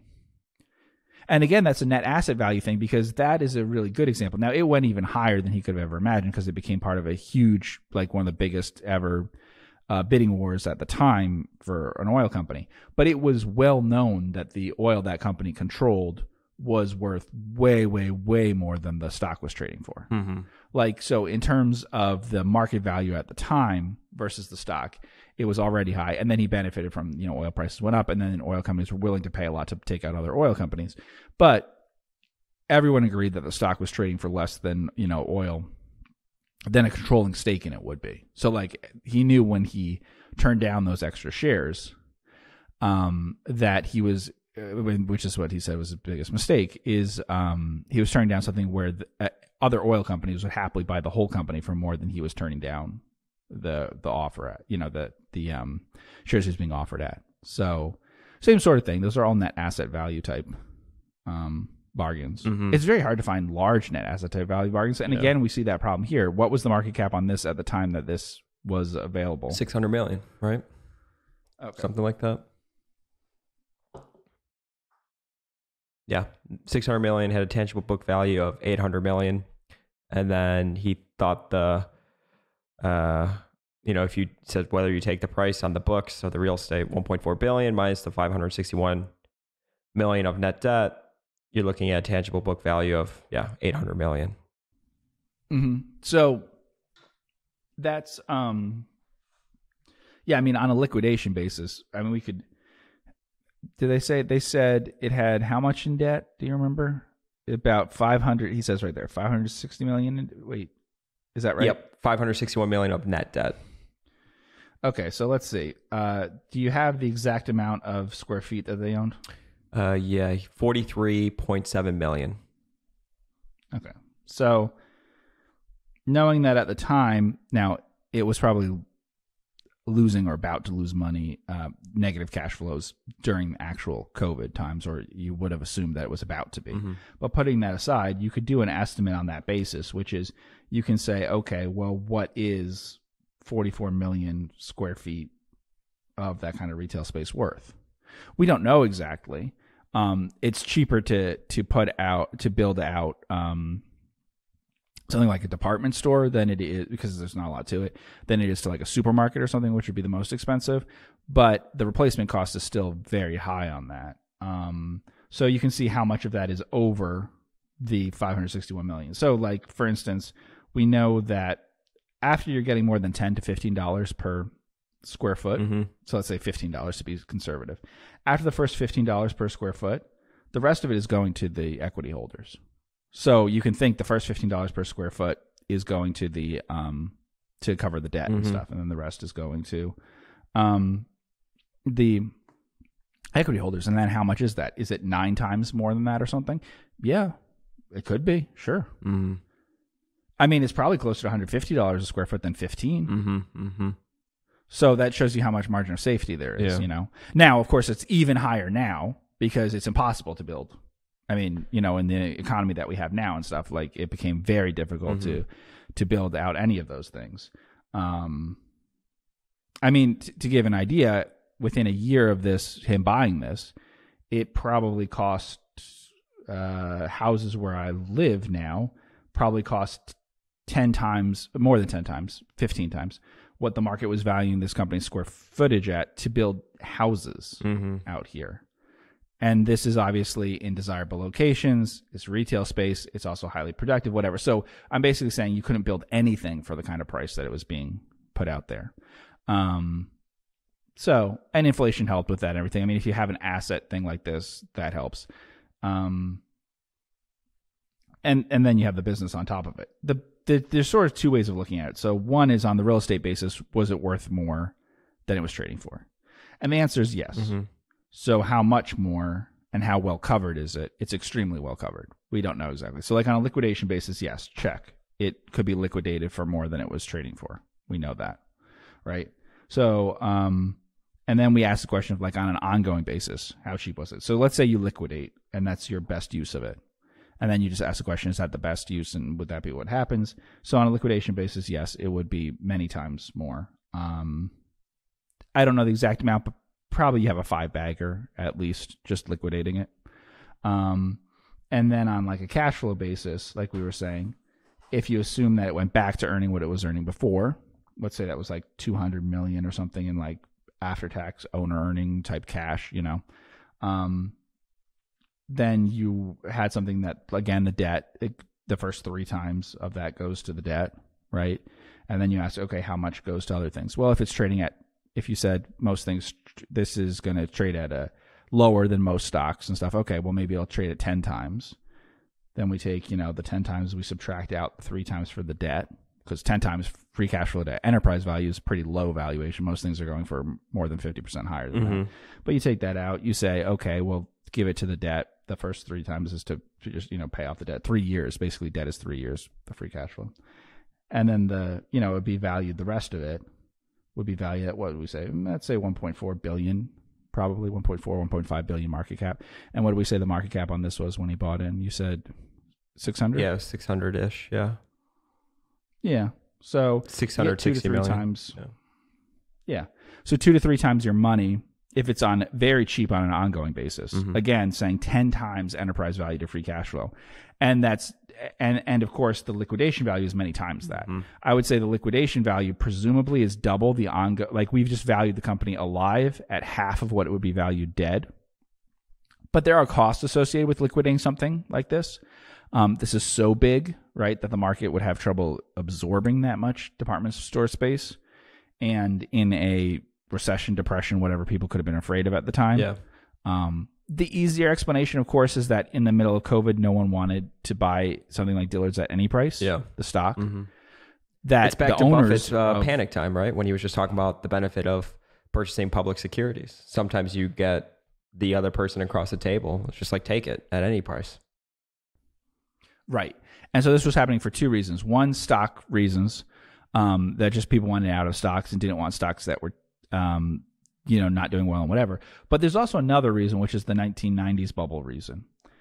Um, and that may explain the Dillard's thing. Not only were people not wanting stocks and trying to get out of that in general at the time, but if they were getting into stocks, they were selling things like Dillard's so they could buy things like Amazon. Mm-hmm. Remember the the argument was sell everything offline. They they stocks were put into two buckets instead of being like value and growth or something like that. The two buckets were the online and the offline, right? The pandemic winners and the pandemic losers. Those are literally the words people were using is the pandemic winners, pandemic losers, right? And so that was how we divided up the world. You know. Mhm. And of course it makes no sense because you know that it's a temporary event. It'd be like saying winners, you know, winners in a war, you know, the these stocks will be the winners in this war that's going on right now. These stocks will be the losers in it. Well, we don't know what will happen, what the outcome will be, but we know that it won't continue forever. Right. And if the outcome's And- horrible, well, we're all just screwed anyways, right? So what's yeah. Um, there's your asymmetry but I mean, right we know there. that it. Yeah, we we know that it can't continue indefinitely. Yeah. Um. So, but that was an obsession that people had at the time, obviously. So you have both of those things happening at the same time. So it was even better, even more extreme than like investing in other kinds of stocks. Um. Because like I talked about, I, I knew someone who, uh, who who knows the exact time, but like you know, I, uh, that the Dillard's investment was made, but somewhere around the same time because March of um 2020 put a lot of money into Frost, Mhm, right? mhm. But that is because took out debt That to is do not it as as well, good. right? correct, yeah. So, um to kind of go all in there, you know, it it didn't matter how much money you have, you borrow or whatever to be able to buy at that price. Um and that's not as good a deal as Dillard's simply because uh, people weren't really bailing specifically on banks at that time. So Frost was kind of similar in that it had been cheapish for 10 years, not as hated or something as Dillard's, but it had been cheap for a while because the low, the no interest rate thing, right? Um, and then it declined. It fell off a cliff on that, as you can see there, um, briefly for like a month or whatever. And then it started going up. But obviously, it's not going to go up by some huge amount from there because uh, it wasn't specifically hated in the same way. I mean, we can look at the the Dillard's one, but um, the stock was really not expensive before, which is the interesting thing because, of course, you could have justifiably, right? Because you'd make money, have been in the stock well before the pandemic, thought it was a cheap stock, Mhm. and you eventually would make a lot of money. But in the meantime, you watch that stock go down a lot. Mhm. Call it from like around 70 bucks to, you know, low of, I mean, he bought it from 25 to 30. So, yeah, big amount. Yeah. So you could you could have had a really cheap stock that dropped more than fifty percent. Um, but then it went up a lot, Mhm. so you'd still be up five times or whatever in the stock. Um, and that's what happens when you have a really cheap stock. I mean, we looked at the QuickFS stuff. It it was pretty cheap year after year, right? Um, certainly it was cheap on like price to earnings and things like that. Um, but there are other. I feel like there are other department stores at times that have been fairly cheap too. Uh, so, like we said, though, this wouldn't have failed quickly, and I think it would be a judgment about management and their decision making. Mhm. You could get stuck in it for a very long time. You know, so that was basically what the question was: is could this be a value trap? Right? How do you know it wouldn't be a value trap? And I don't know that you don't know that. I think you're a lot of times you invest in things without knowing that it couldn't be a value trap. I don't. That's a weird. You know. But even the I even the don't- real never know estate value, right? Even if you discounted it fifty percent, the tangible equity was basically what you were paying at a discount. If you're really like implementing even more margin Mm-hmm. of safety, Yeah. do you think this falls in the bucket of Munger's? You get a few opportunities in your lifetime and you have to seize them, or do you think this that's not the right lesson? Right? Because I'm always trying to like, what's the correct lesson in real time from the situation? Yes, it's worked out well, right? But hold on. So like the Buffett uh, Munger Yeah. with with Alibaba, right? And he talked about how it was the biggest mistake he's ever made, one of them, and how he said he forgot that it was still, in his words, like a damn retailer and he got seduced by the idea of their position in the China market and blah blah blah. And when I heard that, I was like, I don't know if that's the right lesson. is that it's just a retailer, and that's why, you know, he invested and blah blah blah blah blah. Right? I was like, I don't know if that's the right lesson. So, what do you think is the right lesson from Dillard's? Obviously, it's been tremendously successful. Um, Well, it's. I think it depends on who you are and what you know. mhm. So, Charlie, Ted probably knew a lot more about Dillard's than Charlie knew about Alibaba. Um, it's a lot closer to his circle of competence probably than is Alibaba to um, to, to to Munger's. There's also things which we talked about in like the QuickFS type stuff that's concerning about what was happening with Alibaba when Munger bought in that does not appear with Dillard's. So the actual track record was rapidly deteriorating in a concerning way for Alibaba in a way that is beyond just normally, oh, it's just a retailer, but just that it's incredibly competitive because you have very rapid growth and rapidly uh, declining margins, uh, returns on capital, things like that. That mean the incremental ones are really, really bad. Mhm. So, um, it depends on how well he knew the situation, right? Mhm. Um, the thing is, there's not a lot of. It's hard if we can look at QuickFS to look at this, but there wasn't a ton of evidence in the past record to suggest that you were doing something particularly risky here. There was like no evidence.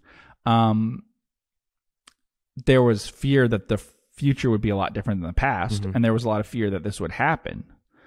Um, that it was deteriorating stuff, but this was more a narrative about it Mhm. than we can see in the numbers. Because if we look at the numbers, you know, what was the operating income each year? What was the cash flow each year for many years before this?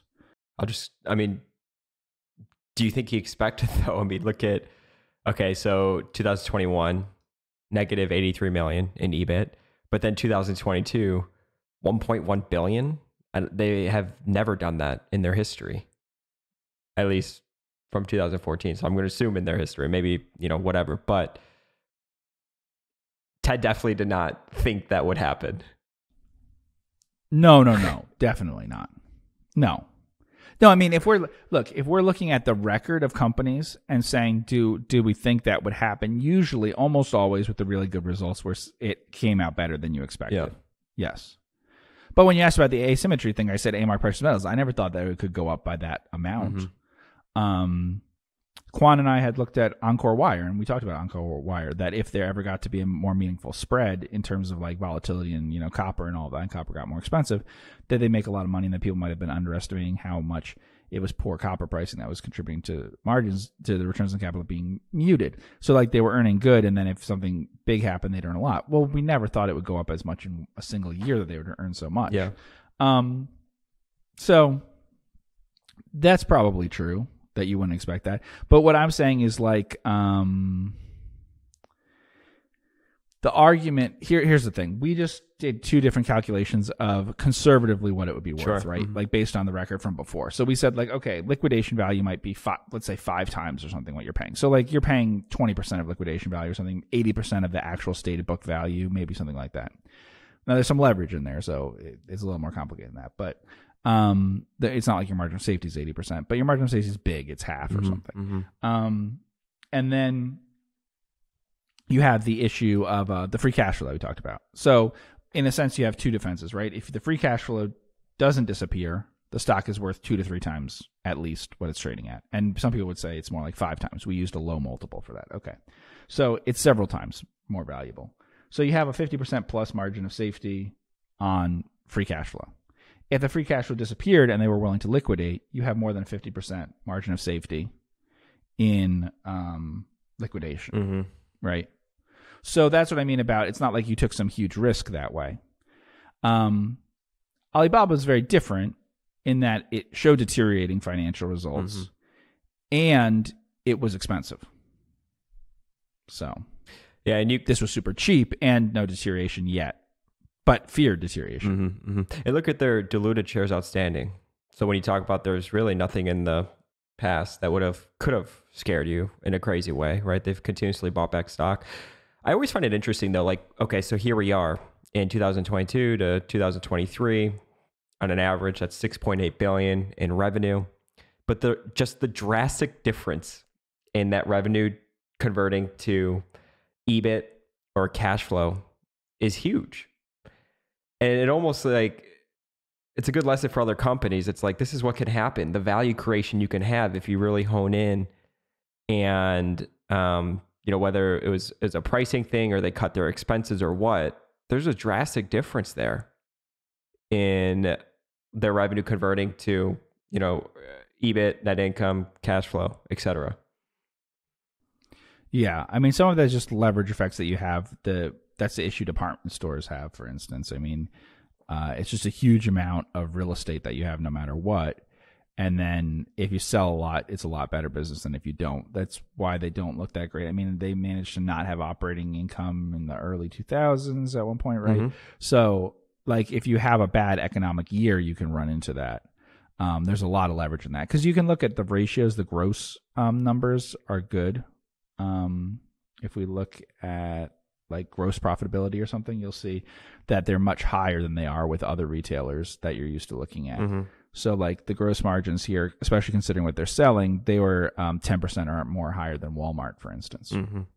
So It's just interesting. Like you look at these numbers, right? You look at SG&A, 2018 to 2019, 1.7 billion, and then you look at 2022, 2023. You know, you're kind of uh, 2022, 1.559, 2023, 1.698.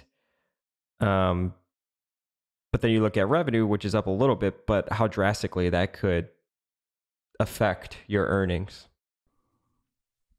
yeah, well, the other thing you'll remember from COVID is that we had that was unusual is some companies cut expenses, did everything they could to get ready for a drastic decline, and instead they had the biggest boom that they'd ever seen. So it, if companies knew, let's cut as much as we can right ahead of a giant boom, yeah, your profitability is going to be amazing. Because normally what you have is more like what you saw with Alibaba or something, which is when you see a boom, you also see a lot of increases in costs and all sorts. I mean, look what happened to Amazon.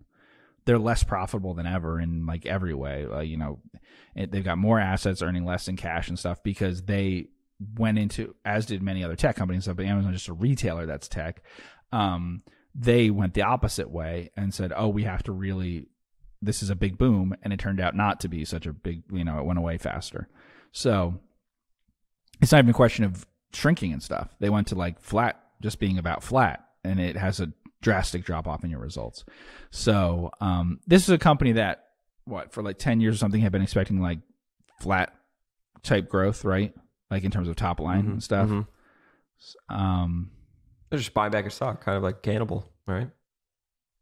Yeah. So, um, what's interesting is let's see. So, what was sales in twenty? What do you have there? Twenty fourteen. Six point six billion or six point And was it seven. We'll, we'll round up 6.7, 2014, 2019, 6.5.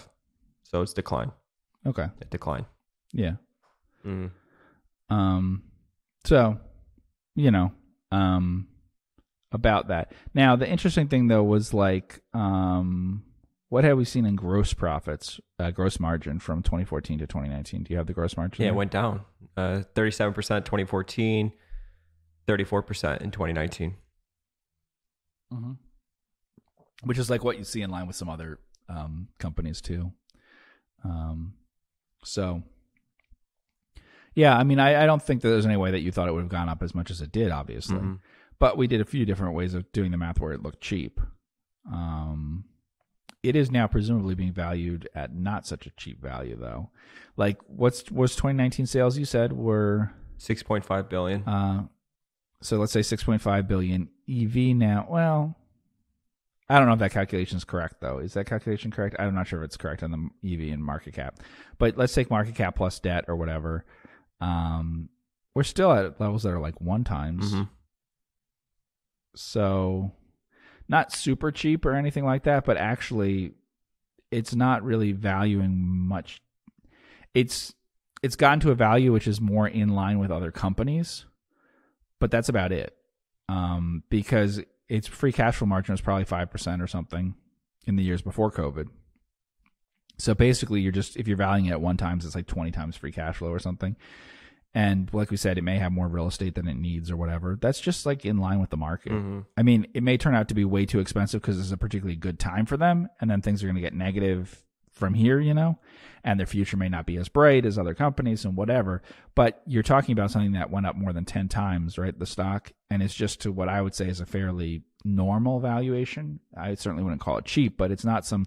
Usually, when we look at things that went up 10 times, we notice that the price to sales is, you know, 14 times Celsius. now. Um, yeah. Here we have something where the price to sales is like, uh, price to pre-pandemic sales. In fact, I was you know going back and everything, but is is like one times. Mm-hmm. So Cool. Well, I want to thank everybody so much for tuning in with Geoff and I on the Focused Compounding Podcast. If this is the first time you are joining us, be sure to check out all of our content on the internet. Go to focusedcompounding.com to get access to investment write ups from Geoff going all the way back to 2005. And of course, if you're interested in learning more about our money management services, you can reach out to me at andrew at focusedcompounding.com. I thank everybody so much for all the support, and we'll see you in the next podcast. Take care.